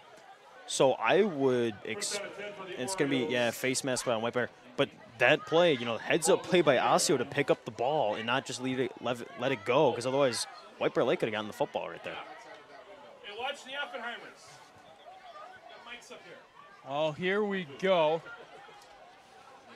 Hand up off the middle. It's Zakil. And Potratz once again just handing it off. They love to shoot those A and B gaps. the, those A and B gaps, which are the two gaps right up the middle to the left and right side of the center. Again, I, I said it so many times in the first half, and if I would have said it during halftime, if we would have done something for Osseo, throw the ball. They have been so effective through the air. They've completed a majority of their passes, and a few of them have been pass uh, interference on White Bear. They've been able to move the ball through the air. I think you got to try that right now if you're Osseo, which is what they're doing. Pass, and once again, it's Cooper with the reception and making the stop right away was Bennett Gilson. Haven't said his name at all tonight. There he goes, making a crucial tackle. But once again, they look to that right side for their star receiver right now. It's Iggy Cooper. It's the guy that Potratz continues to trust. Third and short, third and one, maybe third and inches coming up, but possibly another big stop here for White Bear Lake. Yeah, he's been getting open. Go go to him if he's open, and oh, they get White Bear to jump. Great, nice hard count right there by Osseo. Well, eh, that's that's the main fault for White Bear Lake tonight. Penalties have been costly for them. That's got to be number five or six already that I can think of. But the personal fouls, that's the second or third offsides. I mean, if you're Coach Bartlett, you've got to be livid. I mean, that's definitely something. It's a discipline issue, something that you'll probably address at the break. I mean, they probably address it at the break too. Oh, I'm sure. And it's not just the like the amount of penalties they've had. It's been the situations that they've taken penalties in third down and one, a third down where they had to get a stop. I think they had one on a fourth down too. Pass once again to Cooper, and Potratz makes Outstanding great catch. play. I believe it was Chris Heim on coverage, and it looked like possibly Anderson as well. And Cooper once again getting the targets, getting the looks, and making the play. As Anderson coming off the field, more than likely it was him who got beat. But what do you think White Bear Lake's got to do here, Gabe, to really eliminate that? Because they're going to Cooper. Well, the thing is with constantly. Cooper is it's the same play. It's just that fade route towards the sideline, and he, they're throwing it up in a jump ball. If you're White Bear, you got to have a safety over there, maybe. If you maybe Delaney, have him go over there where uh, they're going to throw and have him run straight to that sideline. You know where that throw is going to go. Zakil getting a positive gain, one that just doesn't get stopped at the line. Well, and this is part of the thing with that ability to throw the ball. Like Osseo has had so far this game, is that run game is going to open up White Bear. They can't play uh, six or seven guys right on the line of scrimmage. They have to have a safety or a linebacker back a little bit in case they throw the ball to Cooper, who's been absolutely tremendous this game. Zakiel's carry goes for six. And the, it'll be another handoff, and this one stuffed at the line once again, and we have yet another penalty marker. Illegal shift. field. Illegal shift on uh, Osseo. Again, that means two guys were moving right when the ball was snapped. You can only have one that's moving, and he has to and he has to be set as well. He can't be moving right when that ball gets snapped.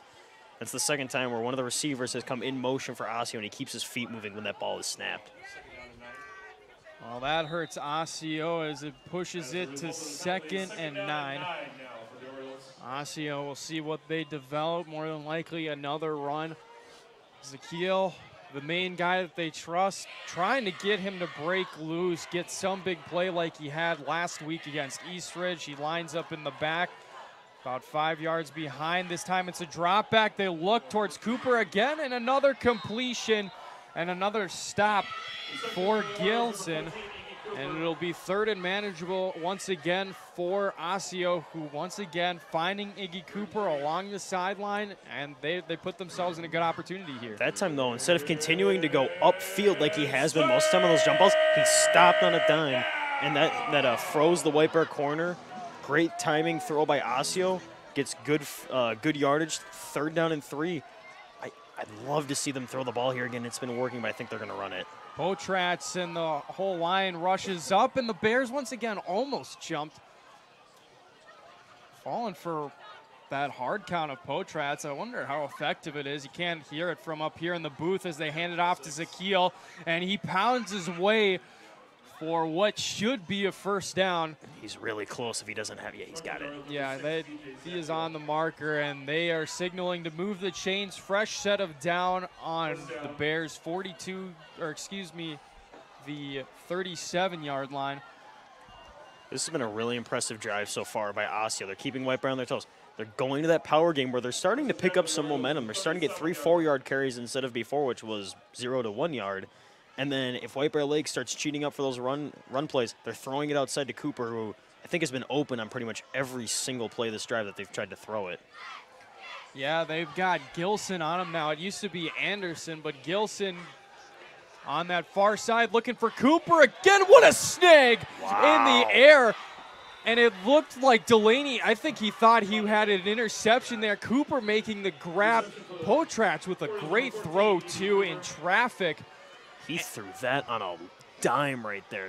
Again, we've seen uh, Potratz started to off. Like Potratz, he's, he normally kind of floats it a little bit more, gets a little errand. and That was a dart. And Delaney, I thought he jumped that perfectly, but Cooper just snatched it right out from out in front of uh, Delaney. And man, that's a great play by Osseo. That's an amazing catch by Cooper. Under seven minutes to go here in quarter number three. Looks like killing the play is Potratz setting something up. They've got another back. It's Williamson and Zakiel gaining a few more yards as clock continues to wind down this third quarter. Going by pretty quickly here as we are nearing the halfway mark, but Osseo marching. It is a two possession game, so how big, Gabe, would this score be for the uh, Orioles? Oh, this would be this is exactly how they wanted to have this drive going. If they end it with a touchdown and a two-point conversion, it will literally be the perfect first drive for them. They're taking time off the clock, wearing down that White Bear defense, and they're mixing up their play calls, which is what I wanted them to do in the first half, and they're doing it now. If you're White Bear uh, defensively, now you have to make adjustments on the fly. You got to hope that White Bear's offense is going to take time off the clock too and give them time to make some adjustments. Cooper, the only receiver out wide as whistles blow and Timeout. might have a timeout. It looks like Timeout, Osseo. head coach Ryan Stockhouse is pointing in the direction of the Bears, maybe wondering if there's a penalty or an offsides, maybe asking for one, but nonetheless, the refs give him the timeout. No flags thrown. 5:49 to go here in a 16 0 game. However, the Osseo Orioles marching down the field here. They've got a positive drive going. Cooper making big plays again. It's been Cooper tonight. Zakiel's been their main man overall. He had a great game close to, I believe, over 300 yards rushing last game. If he did, he had four touchdowns. Can't emphasize that enough. Run game's been stopped by White Bear Lake, but it is crunch time. It's clutch time for these defenders as the Orioles just 12 yards out from getting a score possibly on the board here. Well, it was clear what the what the game plan was for White Bear. Stop the run, stop the run, stop the run, which is what they've more or less have been doing. But great adjustment by Osseo to turn to that passing game a little bit more. It's starting to show a little bit of discipline issues, like you said earlier, Zach, with White Bear's defense. They've been so focused on stopping the run, they're really struggling to, to stop Cooper whenever he uh, whenever he goes on a route. Potratz, shotgun formation, taking the snap, looking to his right, and making the grab. After gaining a few yards, I can't tell if it's Cooper. It, it was. No, Yep. that was not Oh, it Cooper. was not. That is For the Orioles, number 18, LaShawn. LaShawn Madden making his first grab Wow. of the night. And Gain of the Is I- that the first catch for someone for Osseo that's not named Cooper? no, there was one other play. I, I'm trying to remember. Um, Cooper has been the man this drive Oh, for them he as a receiver. So. I think it might have been Andrew Farley or uh, there was one other catch earlier, but everything else has been to Cooper. I think this might go to Cooper here if they don't run it. Zakeel in motion. They're going to give him the sweep Oh, what a and staying on his feet. Big collision, but staying on his feet, getting close to the first down with Zakeel. We'll see if they give it to him. It'd be a first and goal if they do, as we have hit the five minute mark. They have taken seven minutes off the clock this drive. That is amazing. But Michael Delaney right there, the leader of the team, he came in for a big hit. I thought he, I thought he ran over Ezekiel, but he ended up breaking the tackle. But fourth down, this is a tough, this is a tough situation, I think, because Osseo's game is that power run, run it up the middle. But they've moved the ball so much better through the air. I wonder here if they'll take a shot for the end zone, but it looks like they might try to power it up the middle. Switching the play up. Cooper out wide to the right. Potratz looking for a QB sneak. I think he got it. It was fourth and short, trying to make it first and goal. Refs, I Ooh, that's believe, are close. giving him, it might not be that generous of a Yep, spot. they got it. But a big sneak for Hayden Potratz's first carry of the game, gaining the one yard necessary. First and goal, and this long drive continues for the Orioles. Four down territory. It's been clear that they've made it in the amount of time they're milking it. How important is this drive for Osseo? Osseo's, they're doing everything right this drive. They're doing exactly what they want to. Cooper here lined up on our side, Zach, not that far side like he normally is. It's Zakeel in motion. They're going to jet sweep to the near side here, but Delaney reading that perfectly and throwing him to the ground, making a big stop and forcing second and goal. A little bit of frustration there by Delaney. He's had a few plays this game where he uh, he couldn't quite make the tackle. Normally something he is be, normally something he's very good at. Right there, he just throws uh, Ezekiel down. He was ready for that play, but right here, you know, second down and nine. I I think Osseo might throw this here because run game's not working inside or outside. Passing game isn't working. You're in the red zone. I think you go for the end zone right here if you're Osseo. Take a shot. Try to generate something. Loss of three on the play for the Orioles. Snap back, and getting there. There is a flag. We'll see what the flag is, but just boosting up very quickly. No pressure was Nick Asper, It's on the on the nose D. tackle. that's been a common thing this game. I've, I've seen Potratz, although he's been comfortable making good throws, he's gotten hit on almost every pass play, holding on the offense. Wow, that's that's really poor pass blocking right there. Would you accept or would you decline this penalty if you're Coach Bartlett? I would accept it. Make it second down and twenty. Make it make it a long ways, and uh, force the uh, force the offense to go 20 yards on uh, on three plays rather than nine yards on two plays. I'd, I'd like the odds on second and 20 more than third and nine, personally. Well, they've got a new back in the game, Bryce Hawthorne. They've been lining up at running back now. Different Zakeel, they've been having jet motions and whatnot. It's been effective still so far, as we mentioned. 3:39 to go. Yeah, this is confusing. What is taking this so long? The Bartlett and the ref are still communicating down there on the field. I looks like Bartlett getting some questions answered to how this penalty would affect or whatnot. But at the same time, I don't know how complicated this could be. I think they need to make a decision before we lose power again. though. They are going to decline the penalty, so my uncle disagrees with me. That might come up on Christmas this year. Um, no, um, but no, I, I don't. I get the decision both ways. Either you know your defense has played really well so far, maybe not so great this drive. Force them to go nine yards on two plays. I would have personally accepted it, but I understand the call. That's going to be a false start, and it works out for him anyways. Movement, I believe that's the right guard, right tackle for Osseo. False start, Osseo. He knew it the minute he did it as well. He put his hand right on his face, and that's never a good sign. So, smart decline there by Coach Bartlett because now instead of second and 20, you now it's third and 15. So that's uh, that's really tough for, uh, or third and 20. Now it's third and 20. My mistake. Amosua, the guilty party, and yeah, third and 20 now. So it would have been second and 25 before. My mistake. So Long ways to go here. More than likely two down territory for the Oreo Patriots. Looking to his right, looking for Williams in the air.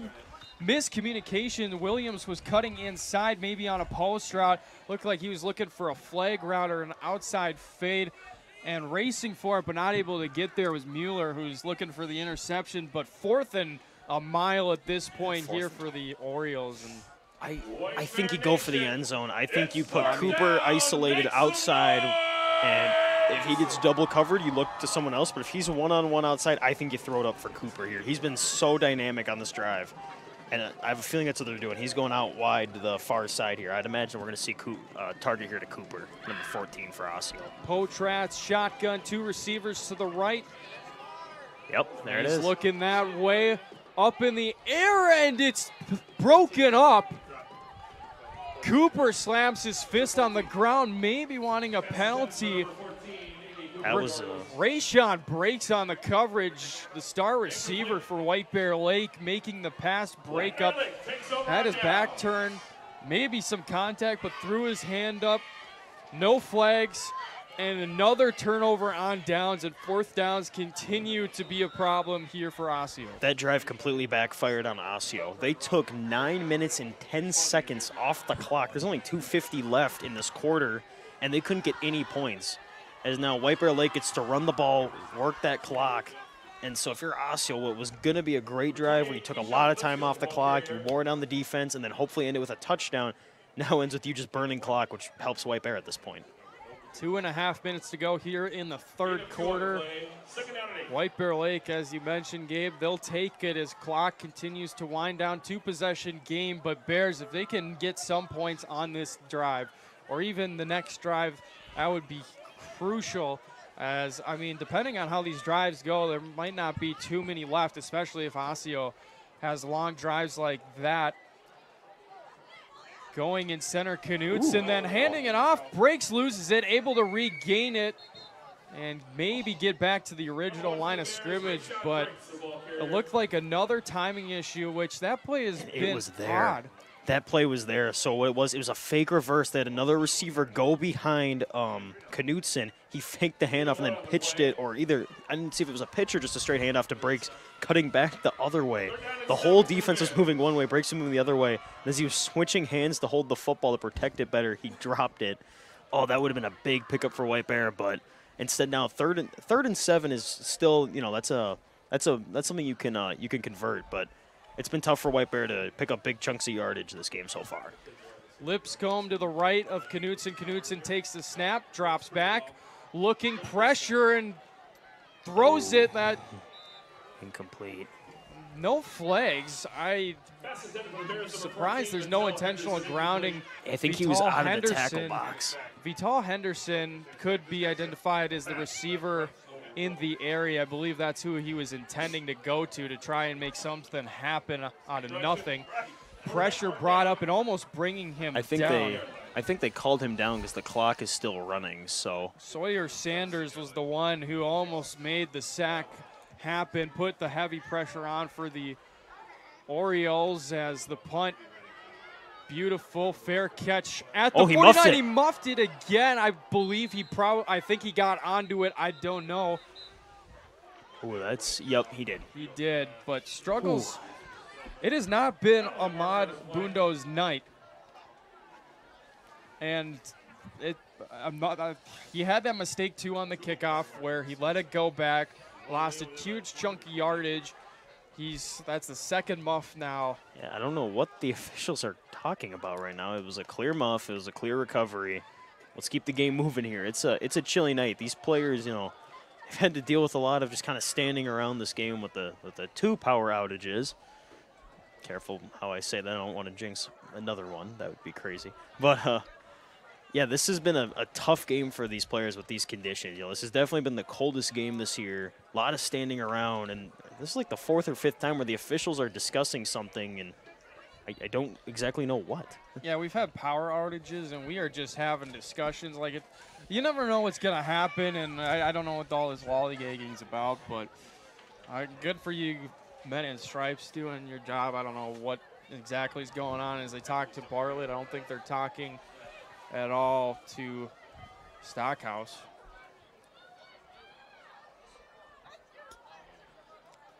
Once again tonight, tackle cancer night here at White Bear Lake. Obviously, you see all the players, or many of them, wearing pink, especially pink socks, pink whatnot, and Yeah, you know, everyone supports, you know, the tackle cancer night. Everything's, uh, you know, it's al- it's always a great event for the NFL, college, high school.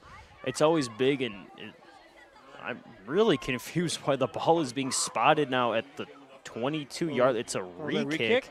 I, I guess there's a re kick coming. I I don't know Uh, Did what you see anything on that play? I didn't. I was hoping you did, Josh. But uh, Well, they're stopping it I- again. yeah, this is this is bizarre right now. What we're seeing right now. We're we saw them kick. There's the muffed kick.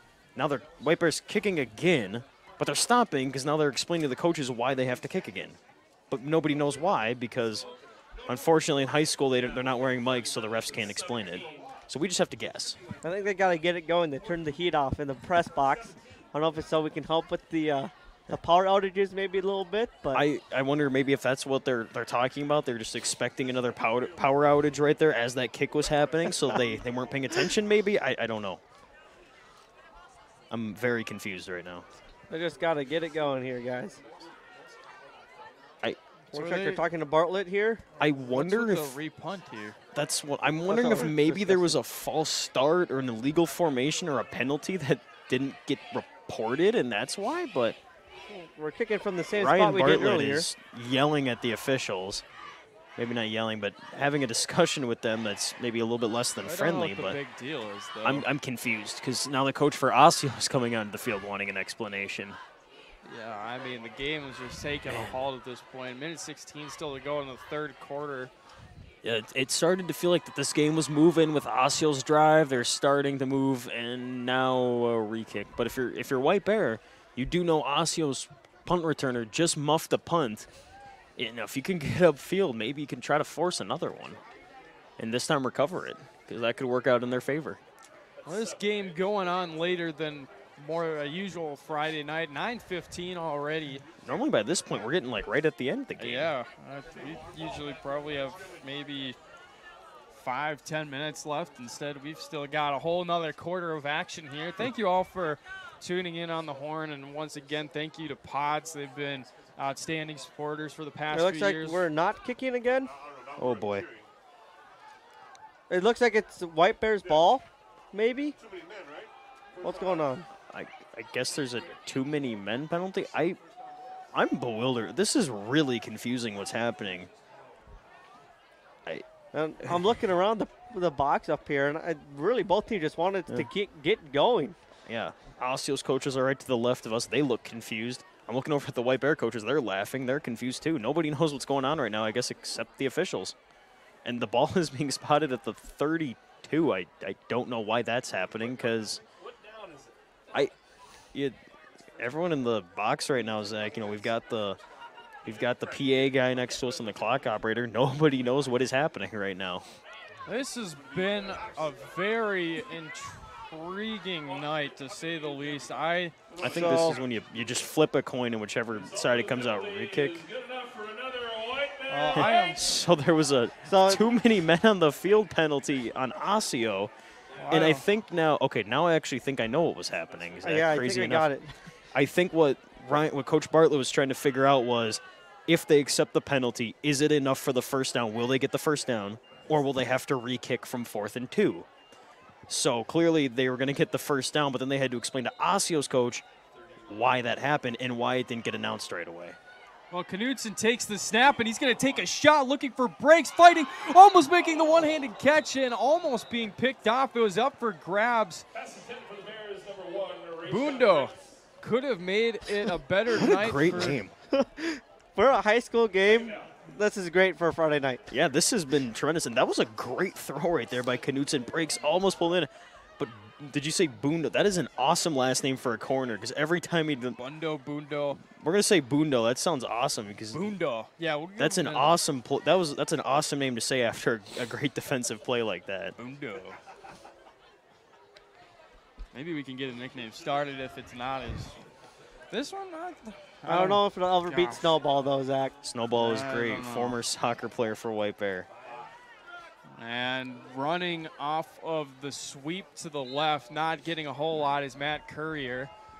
Hasn't been used a whole lot, usually for misdirection and a lot of fakes, but able to get his hands on the ball, get a gain of about three yards and about third and seven coming up. We'll see Bear Lake has more than one play here. 45 seconds to go in quarter number three. They're gonna have to do at least one more play here. I wonder if this is gonna be a throw here. I mean, you, you took a shot to Breaks.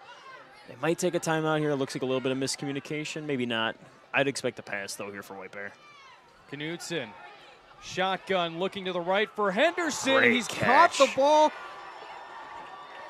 at least a foot in bounds, and that's going to be enough for a White Bear Lake first down. There's Wow. been some great catches tonight by a- the uh, wide receivers. Absolutely. Henderson with a great jumping catch. I think we've said Cooper's name about four times for amazing jumping catches. But yeah, nice play right there by Henderson. Throws up the 50 50 ball. Knutson puts it on the money. Looked like a little bit late on the throw, maybe a second sooner, but great catch.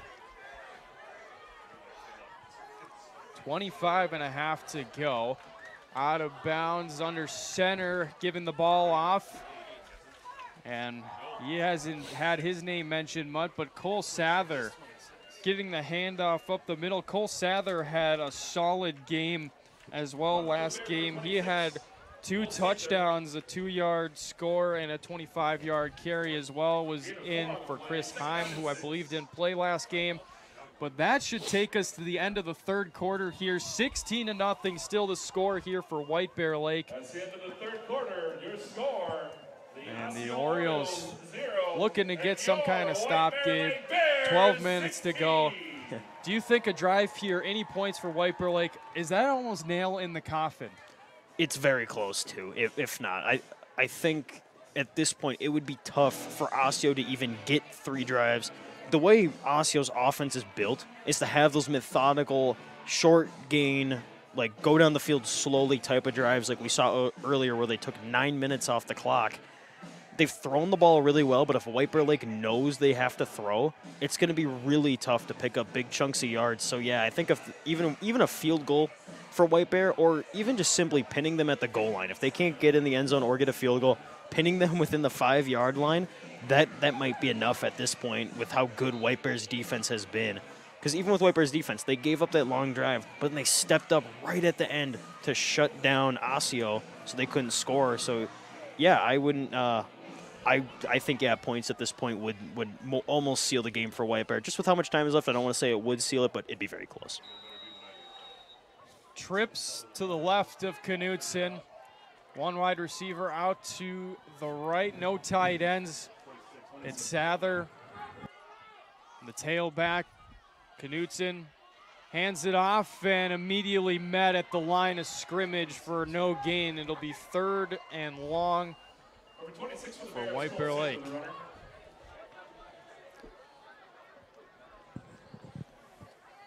Bears looking to get this first down as clock continues to roll here. Fourth quarter now underway, and what has been interesting game. 9:21 here, local time. Uh, What a weird game. We had the the weird punt situation at the end of the last quarter where it took about five minutes to figure out what too many men on the field meant for uh, the yardage. We've had two power outages, hopefully not a third at this point. I think at that, that point, though, they'd just call the rest of the game. But, yeah, it, what a weird game. Knutson steps into the pocket. Looks like he's going to take off, and he'll get about a yard before he stopped at midfield. Tackle made by Knudsen. Deshaun Ricks, who has been able to get in the backfield so far tonight. He's had a solid night on that front line for Osseo, and a big fourth down stop for, or third down stop, forcing fourth down for the Orioles and forcing another punt from White Bear Lake off of the leg of Stanton. Frustration right there by Rayshon Breaks. He made a nice play on his route, and that's going to be a huff offside. Well, if that's offsides, that should be enough for a first down. I believe it's fourth and five. It is fourth and five. Well, even if it's fourth and inches, if you're White Bear, you go for it in that situation. Although they haven't been able to move the ball well this uh, second half, they've been moving it enough to get one to even one to two yards, I think. Yep, first down. First down, clock will roll, and a new set of downs, and Yep. that is big for White Bear Lake as they'll be able to drive now inside Orioles territory and get closer and closer for possibly a scoring opportunity either in the end zone or for Eli Trikel to attempt his fourth field goal Yeah, on the season. and that burns at least another minute and a half to two minutes, as long as White Bear Lake keeps it on the ground, because the clock will keep going. What a run from Lipscomb up the middle at a nice hole. Getting close to the markers, gain of probably 10 is what it looks like. It should be about second in inches, maybe uh, second and nine. Getting a gain of nine, but beautiful run there from Lipscomb. That's what you need to do for White Bear. They haven't had that in a while. Those nine yard runs, they add up. But even for White Bear, even, you know, you love nine yard carries like that, but even just three, four yard carries at this point in the game will do so much for them. If they break out a big run like that, though, again, no one's going to complain. Knutson behind center. Anderson out wide. They give it again to Lipscomb. Why not? As that a couple holding, flags though. flying at the same time. It was kind of Double D marker on the play. poetic watching those flags fly together. It was Holding on White Bear. Yeah. That was a great. It was a great move by Lipscomb. A nice little spin move, breaks the forward for about four or five yards. Holding penalty is going to draw that back. Second, it'll be second down in ten or eleven. And you know, if you're White Bear, you, you go right back to the ground. You know, you had one carry that went for um for nine yards, and then you just had one that would have had four or five. I think you got to run it again. Second and twelve. I, I, they might throw it here with Henderson on the field, but I'd like to see them power running again up the middle. Both Breaks and Henderson on the field. Henderson knows the play right away, heads out wide to the far side of the field. Oh, this looks like a throw to me with how they're with what formation they're in. In motion is Oh. Sutter and getting clobbered, and once again Oh, another to sack. Knutson feeling that one, and Ricks once again getting into the backfield, and he is having a monster night for the Orioles up on that front defensive line. Yeah, that was an outstanding pass rush right there. I like the play call. They faked the reverse, looking for a throw, and I think he was getting ready to, and then Ricks just came flying, and you know, getting hit in the back is tough because you know you're not expecting the contact, and he drove him into the ground hard. And yeah, we're seeing Knutson walk around a little bit behind the play. He looks a little shaken up. Now, he's going to stay in. He's clearly a tough guy. Under eight and a half to go here for the Bears. We'll see if Knutson can muscle it out so far. It looks that way as once again Courier in motion. They give it to a Breaks. Breaks using his speed breaking tackles, getting down to the 20 and down tackled at the 16 yard line. Beautiful run from Rayshon Breaks, and that's why they love those sweeps to him and those handoffs because once he turns on the Jets, it's hard to bring him down. Well, Zach, that play design, that was awesome. That was what I talked about with making a situation look like a play that you've run prior and then doing something different. The play before, they faked that fake that uh, reverse around the around the back and then threw it. That time he faked the reverse handoff around and then handed it to Breaks. on a counter play, and he had all kinds of space because the whole defense reacted to a pass rather than a run to the other side. That's a great play call. Sweep this time. It's to That a Courier, and that should be It's been a flag almost all night. Wow, that's. I don't know how that's flag. not a penalty. yeah. he grabbed him up higher, looked around either the head or the neck, and the way he went down, he kind of got pulled down Yeah. hard. That that looked like it should have been a horse collar tackle to me, but Bryce Hawthorne, the one making the stop. He's been in a running back as well for the Orioles, but that was uh, it, it definitely looked like there was a face mask. The head turned, the body like flipping to the side, falling down. The the whole motion just Yeah, looked like a a penalty. weird. but you know, None of the judges seem to have seen it or considered it a penalty as Lipscomb up the middle for a solid gain as well, and they are down to the 10 yard line, and this is getting to be very close to maybe lights out here early as we are getting the six and a half minute mark, and the Orioles, unless they can figure out how to drive against the Bears defense, you're getting close to panic mode for the Orioles. well, not even drive the ball quick. You have to score. You're gonna have to score twice, two touchdowns, and get two two-point conversions at least in under six minutes. And right now, their defense can't stop White Bears' run game, and their offense can't really generate anything unless it's slow moving. So this is gonna be really tough, near impossible at this point for Osseo, I think. They pitch it to Breaks, who has the first down for White Bear Lake, stay in first bounds. and goal. Ball for the Bears, Not able to stay in bounds, but the first down, the crucial part. Fresh set of downs, and they are nearing the goal line. They have reached the seven-yard line. good enough for another White Bear Yeah, they get the first down, but he did step out of bounds, so it does stop the clock with six minutes and nine seconds uh, remaining. And you know, I, I like the play call and I like the outside running because it's been there for White Bear. But you know, maybe in that situation, trying something over the middle, keep the clock going. But they're clearly going for a touchdown right here to seal the game, and that you know, that's a that's probably that's the right decision because a touchdown ends it at this point. Courier sent in motion, flags all around, and we have a false start against the Bears. And that'll push them five yards back, and it'll make it first and goal from the 15 now. Yeah. Tough penalty right there. You know, false start, it happens. I think it's the first false start penalty of the game for White Bear, so they've been disciplined offensively, a few holding penalties, but, you know, nothing crazy, something pretty common. And if you're White Bear, you, you just go back to the run game right up the middle. First down and 12, you know, uh, first down and uh, goal from the 12. I think you just keep running the football here. It's been working the this whole drive for him.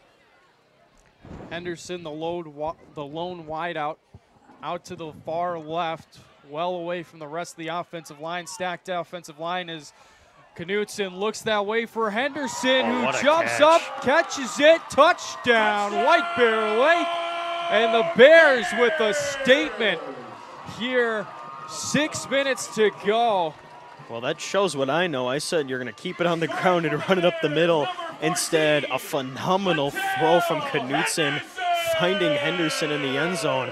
Again, I think Osseo thinking the exact same thing as me. They're going to run the ball up the middle, keep the clock going. Instead, they're going to take a, a shot to the end zone, and uh, and uh, just make plays uh, to get points. 22 nothing now. Possibly 23 if Trikel can hit on this extra point. Trikel missed one earlier. It was blocked, but this one up and through, and 23 nothing for White Bear Lake with six minutes to go here in the fourth quarter. Pressure now on the Orioles. They are going to have to drive down by three scores. 23. And this is something for White Bear Lake as they're starting to smell victory number five, victory number three here at South Campus this season. After this game, they will have one more left of the regular season. That'll be here at South Campus this Wednesday against Totino Grace. Last year, Bears were able to dominate Totino Grace on the road. We covered them as well. Osseo last year, Bears were on the road. I don't remember if Osseo got the victory last year, but nonetheless, big statement here from White Bear Lake. and looking to end this two-game win streak here of the Orioles. Yeah, White Bear Lake, they've been absolutely. Uh, White Bear Lake's been absolutely tremendous this game. So,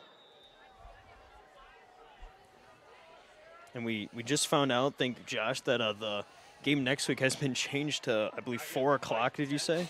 Um, it looks like maybe that they may be changing it to four, so we don't need to deal with lighting issues.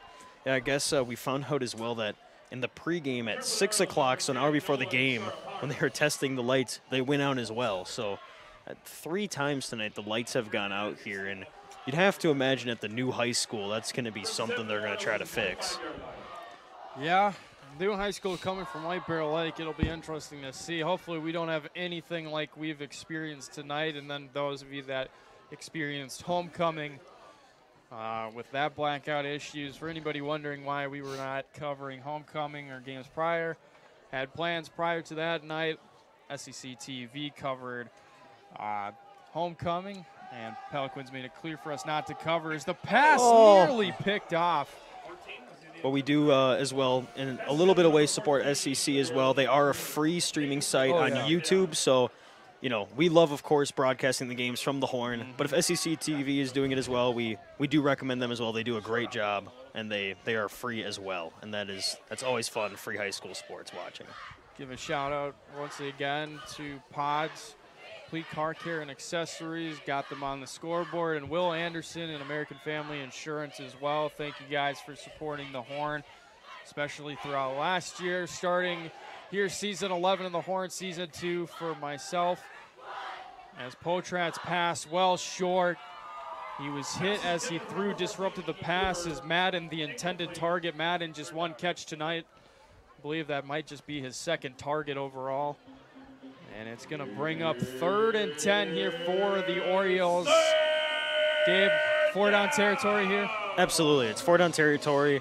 If you're also you've got nothing to lose, you try out some new stuff on offense, throw the ball, see what your quarterback can do. And we're seeing it right now. Where Bear, Wa- White Bear Lake is expecting the pass. They're playing much tougher against it. It's going to be tough here for Osseo to move the football. And this is where, if you're the, the coach for Osseo, you just uh, give your quarterback a chance, see what he can do. Well, there is a new uh, personnel under center, Nolan Sharapida. Throw is up, hit, jump ball, and incomplete. Madden again, the intended target. Cooper was in the area as well.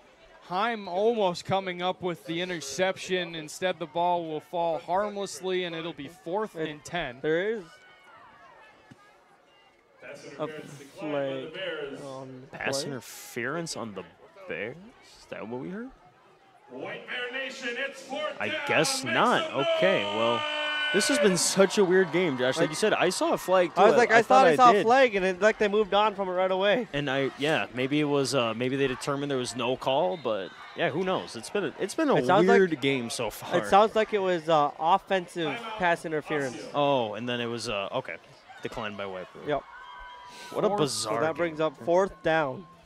I'm just thinking this has been definitely the weirdest game we have ever broadcasted at, for any sport. I would Yep. say. I mean, two power outages, some weird You know, officiating stuff, but nonetheless, it has been a very good game so far. Although not the highest scoring game, it's been a fun game. There's been some big plays. It looked like Osseo was going to battle back, but White Bears defense laid the hammer down, and they've taken over this game completely.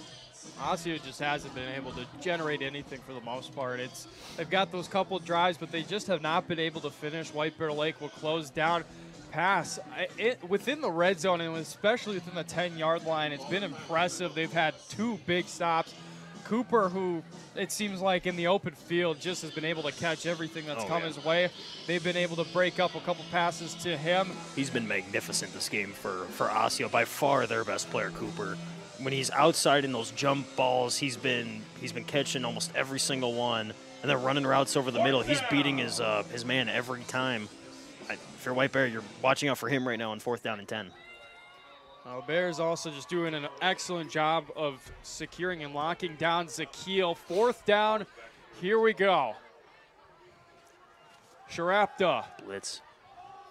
Attempting to throw the pass to Delaney, looking for the pickup. Said he doesn't get it, but that is turnover on down. So Potratz comes out and Sharapta Takes over on down. Well, taking a couple snaps at QB, and Bears will take over 5:37 left in this one. We've seen it a few times this year, but I wonder if we're going to see Heidi Barber come in at quarterback now for White Bear Lake. I wonder if she'll uh, get an opportunity. She's she's a junior, has played a little bit. I know um, a few players on the team I I know I've talked to. They they love it. You know, she's a she's been she's a really good quarterback, and she's been a great backup for White Bear, and she's entered the game late in some games. I wonder if she'll do it again right now. And for those wondering why Gabe is saying she, yes, there is a girl quarterback here at White Bear Lake. Something special, something unique. Looks like not quite yet. Not I quite see yet. her walking back. That's all right. I was hoping maybe tonight, but I know on, on homecoming she did get to come in late in the game. The student section goes nuts, and you know I've talked to you know my uncle. She is a she is a good quarterback. He said that she you know, she's not on the team by accident. It's not just because she's a girl. She is a legitimate good quarterback. She makes good throws. She's smart, and maybe next year as a senior, maybe she'll be the starter. Wouldn't that be something? There's two girls on rosters within Minnesota. I don't remember where the other one, but there is a female long snapper as well somewhere in the metro area here in Minnesota. I believe it's the metro area, but something unique I saw on the Star Tribune, and it was I believe it was a team that White Bear Lake faced this I- year. I could be wrong, but I, I'm pretty sure I heard about that. But it's very cool to see that. Uh, you know, integrated football. A lot of if you're good enough to play, you're good enough to play. And I know the student section goes crazy when Barber enters the game because she's done it a few times this year and she's earned it. Getting things situated along the sideline once again. It looks like between Bartlett and the refs happened a few times tonight. Bartlett doesn't let up. He fights for every inch, for every call. He's got it. Gabe's got it from him, I think. I don't know. You know that toughness. The uh, I, don't. I guess so, or maybe he learned it from me. I don't know. Ooh, It yeah, looks like uh, she plays for Mankato East, Oh, okay, never mind. We are totally off then. unless Star Tribune is wrong. Delaney taking the snap and going out wide. looks like Beautiful there's gain, but there is a flag on the field. We'll see what the call is, but looks like this one will be coming back against the Bears. And really, that's one of the only bad parts about the Bears tonight is just the penalty markers. Mm-hmm. Yeah, Josh, you're totally right. They've had a few costly penalties this game, but nothing they haven't been able to bounce back from. That's Nope. been the big thing. They take penalties, and you know some of them have been not not smart penalties. You know, a few pass interference, but they always bounce back from it. That's that's what you have to do with a penalty. You know, get set back, but how do you bounce back from it? And so far, it's been really good for White Bear. They've been really impressive after that. First and 19, and it's Delaney under center for the Bears. Sends Courier in motion. Will pitch to Courier. Courier trying to bounce outside, Another doesn't flag. find anything, and yet another flag. I'm guessing that's holding on White Bear, just where the flag is and how the play kind of got blown up right away. It is interesting to see Michael Delaney in at at quarterback, the multi-position, multi-sport athlete here at White Bear, also a member of the White Bear hockey team. Last year played varsity, um, and I guess he's in. he can play quarterback and safety in football. You know, sometimes an athlete is just an athlete, and they can you just tell them where to play, and they can play there. And I guess he must, he's one of those guys. Yeah, Michael Delaney looks comfortable too, taking snaps under center. Looks like he's done it before. Looks like this is something they've definitely practiced as he's still in at quarterback. So Knutson, maybe his night is done, and Courier might just be running this offense. Give him a shot. Why not? Ball being snapped and given to Henry Wilcoxon, who's in at running back and gets the sweep and Positive gain there on second and 27, second and forever.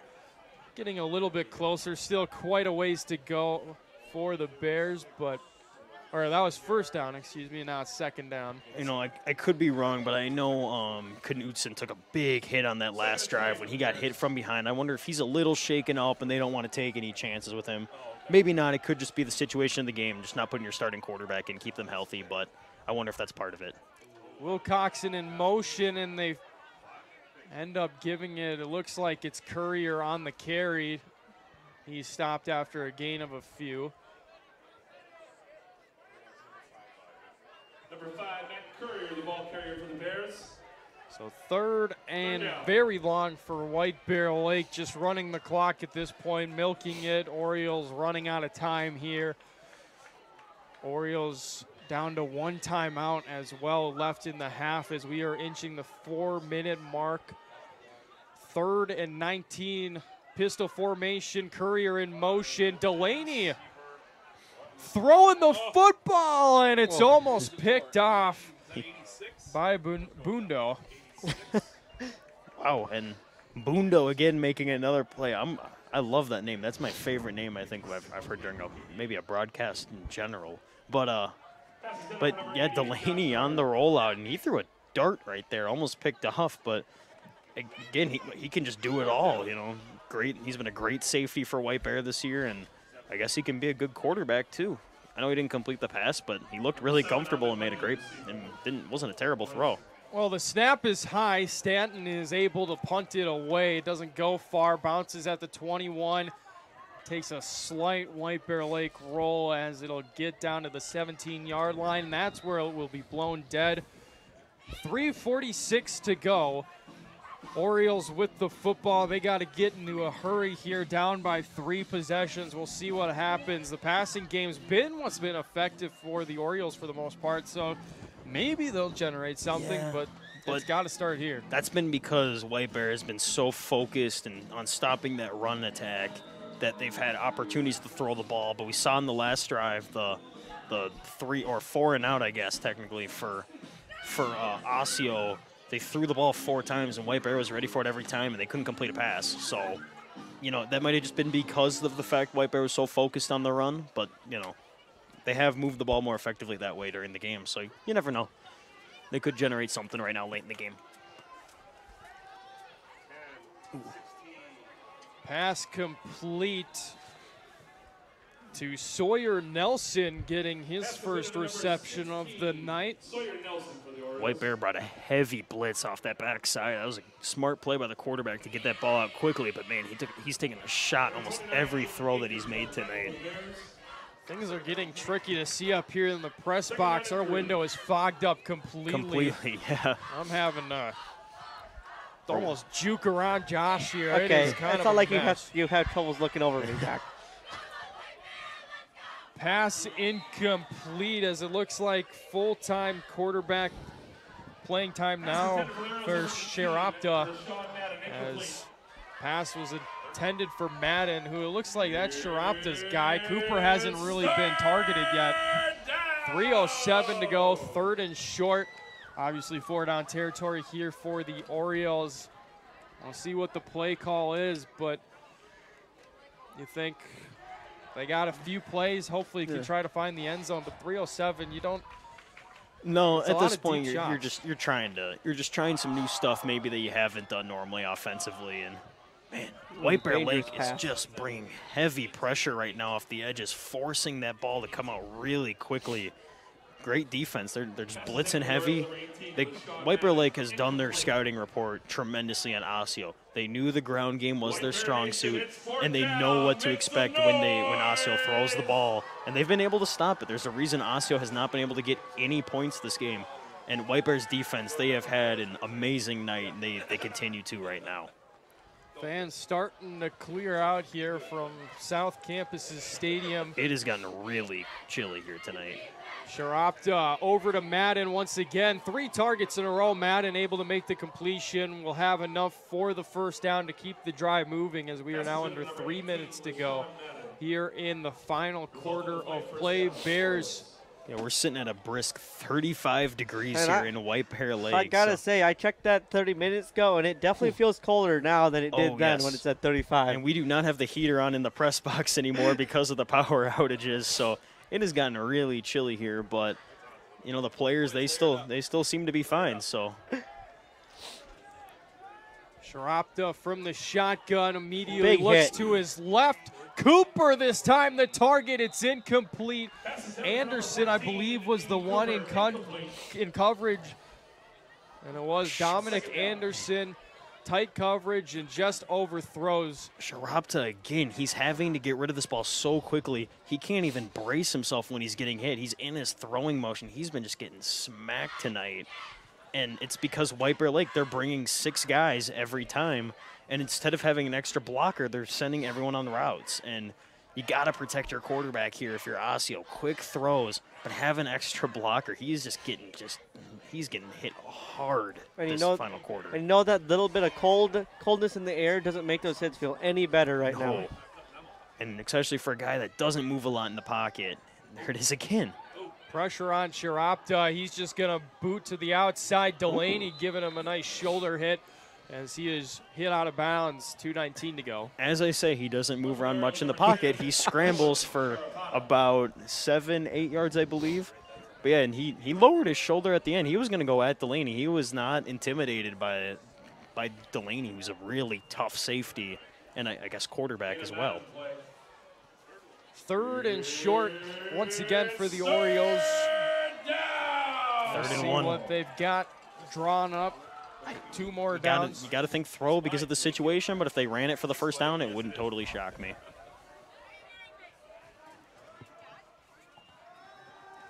Sharapta being pressured and just getting it away, way behind Madden, but heavy pressure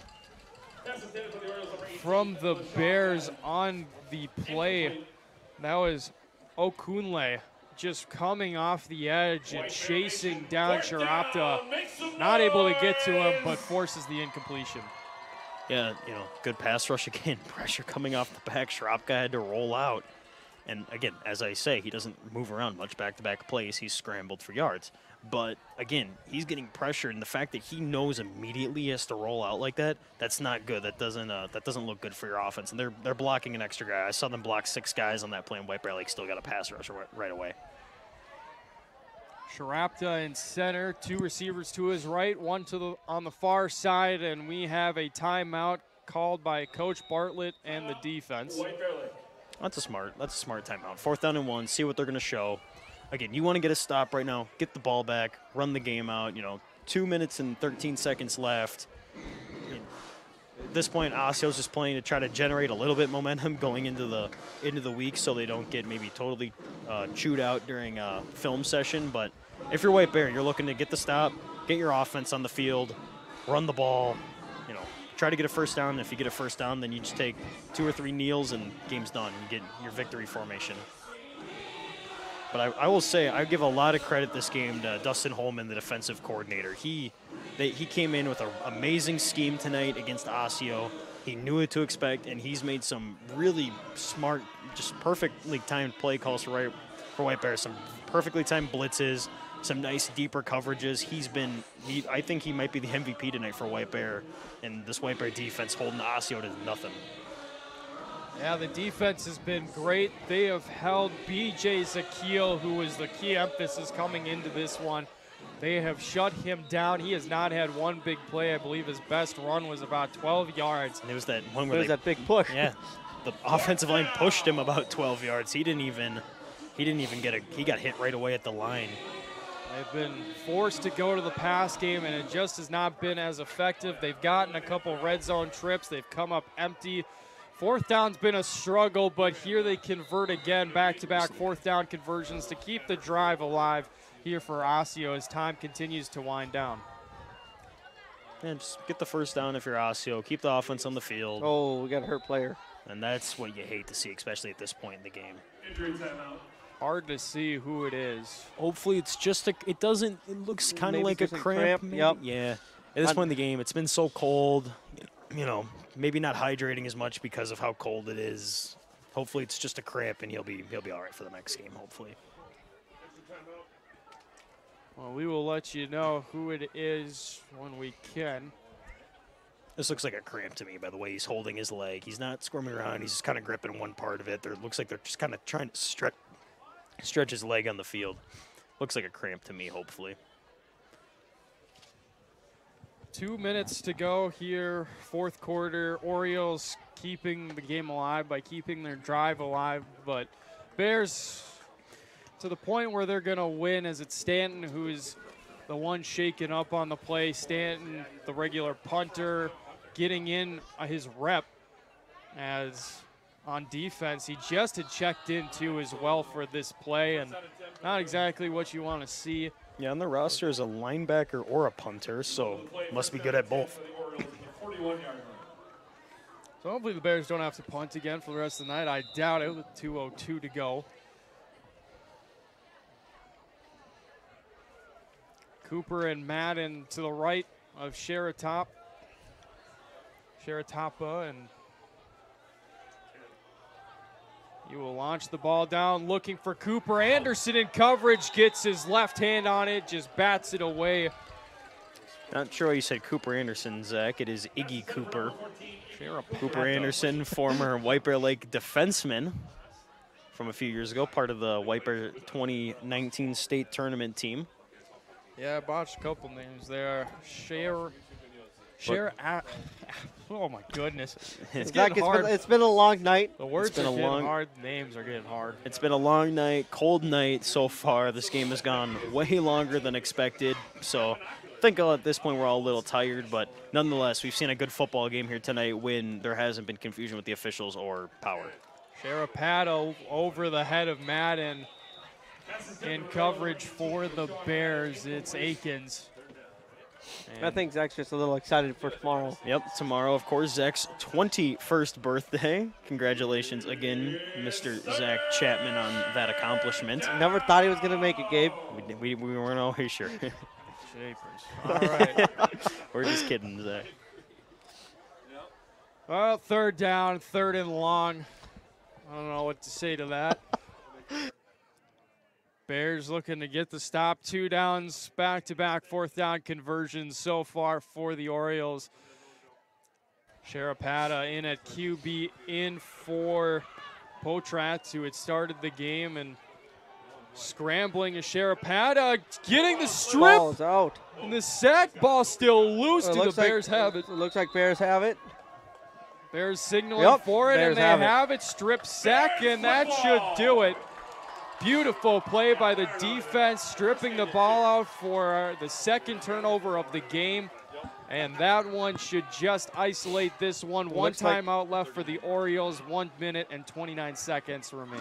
Looks like Heidi maybe coming in. for the Bears. And she is.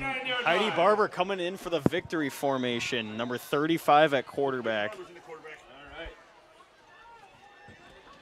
Come on, let her throw one pass. There's someone out wide, unmarked. Heidi Barber will just hand it off. Play will go for a couple of yards. Dang. That would have been fun to see her throw a touchdown pass on a late in the game, but not great sportsmanship if that would have been the case at this point in the game. You're just gonna run the run the game run the clock out. And James Currington was wide open on the left here, calling for the ball too. Avian Atkins Listed as a defensive tackle or a defensive lineman for our chart, but yeah, a good power back as well. pistol formation. It's Barber. Clock continues to run as it doesn't look like Osseo is planning to stop the clock. The Bears will just let clock run down. Barber Take with the the, victory snap, formation. and she will take a kneel. One more snap to go. As Ryan Stockhouse won't stop the clock. Bears with a huge shutout victory tonight at home. Through all the power outage, through all of it, the Bears stay true. 23 nothing is what the final will be. Great game all around for White Bear Lake as that will wrap it up. The teams will line up. Clock will finish its countdown and whatnot, but big win for the Bears. They are now 3 and 0 at home.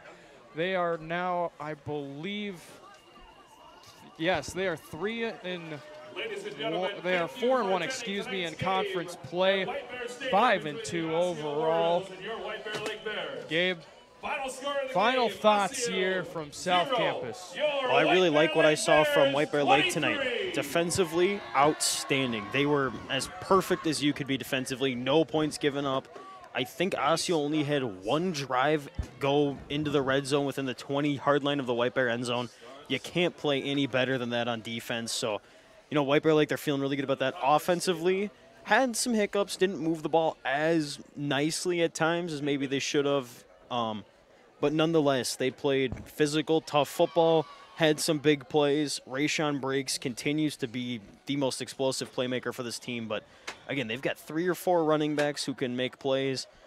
They've got Henderson, who's a great receiver, Breaks, who's crazy athletic. They have a lot of guys on this offense, and as we saw, they've got two guys who can play quarterback. Because I guess Michael Delaney, who's a great safety for them, can also play quarterback and throw really well. So, you know, if you're White Bear, a lot of positives from this game. Offensively, move the ball really well. Defensively, you shut you shut them out. That's that's all you need to say. So, great stuff for White Bear. Great momentum going into the last week of the year, and hopefully they can carry that momentum into playoffs with them. Yeah, great run game, especially from White Bear Lake. Lipscomb mm-hmm. and Rash- Rayshon Breaks just were outstanding. They mm-hmm. broke some big plays, especially Rayshon Breaks. His speed is such a difference on this team. He, well, he would draw attention when they'd do those little fake reverses where he'd come all the way around and then they'd hand it to somebody else. He drew so much attention. And if you're Bear Lake, there are times where, yeah, he's going to get a lot of yards, but there can also be plays where he's a bigger factor just getting a fake and not getting the ball. And that's impressive. When you have a player like that who draws attention, even when he's not getting the ball, that is very, very impressive. Well, the Bears, like we said, they will be here on Wednesday hosting Totino Grace. The time originally is 7 o'clock. Well, there is word it could change, possibly up to 4. We'll see if anything like that happens. But in the meantime, that should do it here from White Bear Lake. Once again, final score 23 to nothing. Thank you for joining us here on the Horn. It's been a pleasure. Thanks to Josh Dorr running camera, added commentary, Jake Cox, amazing job running graphics production. Gabe Bartlett, as always, love having you on as color. And I myself, Zach Chapman, saying so long here from White Bear Lake South Campus. You watched this White Bear Lake football broadcast here on the home of White Bear Nation, The Horn.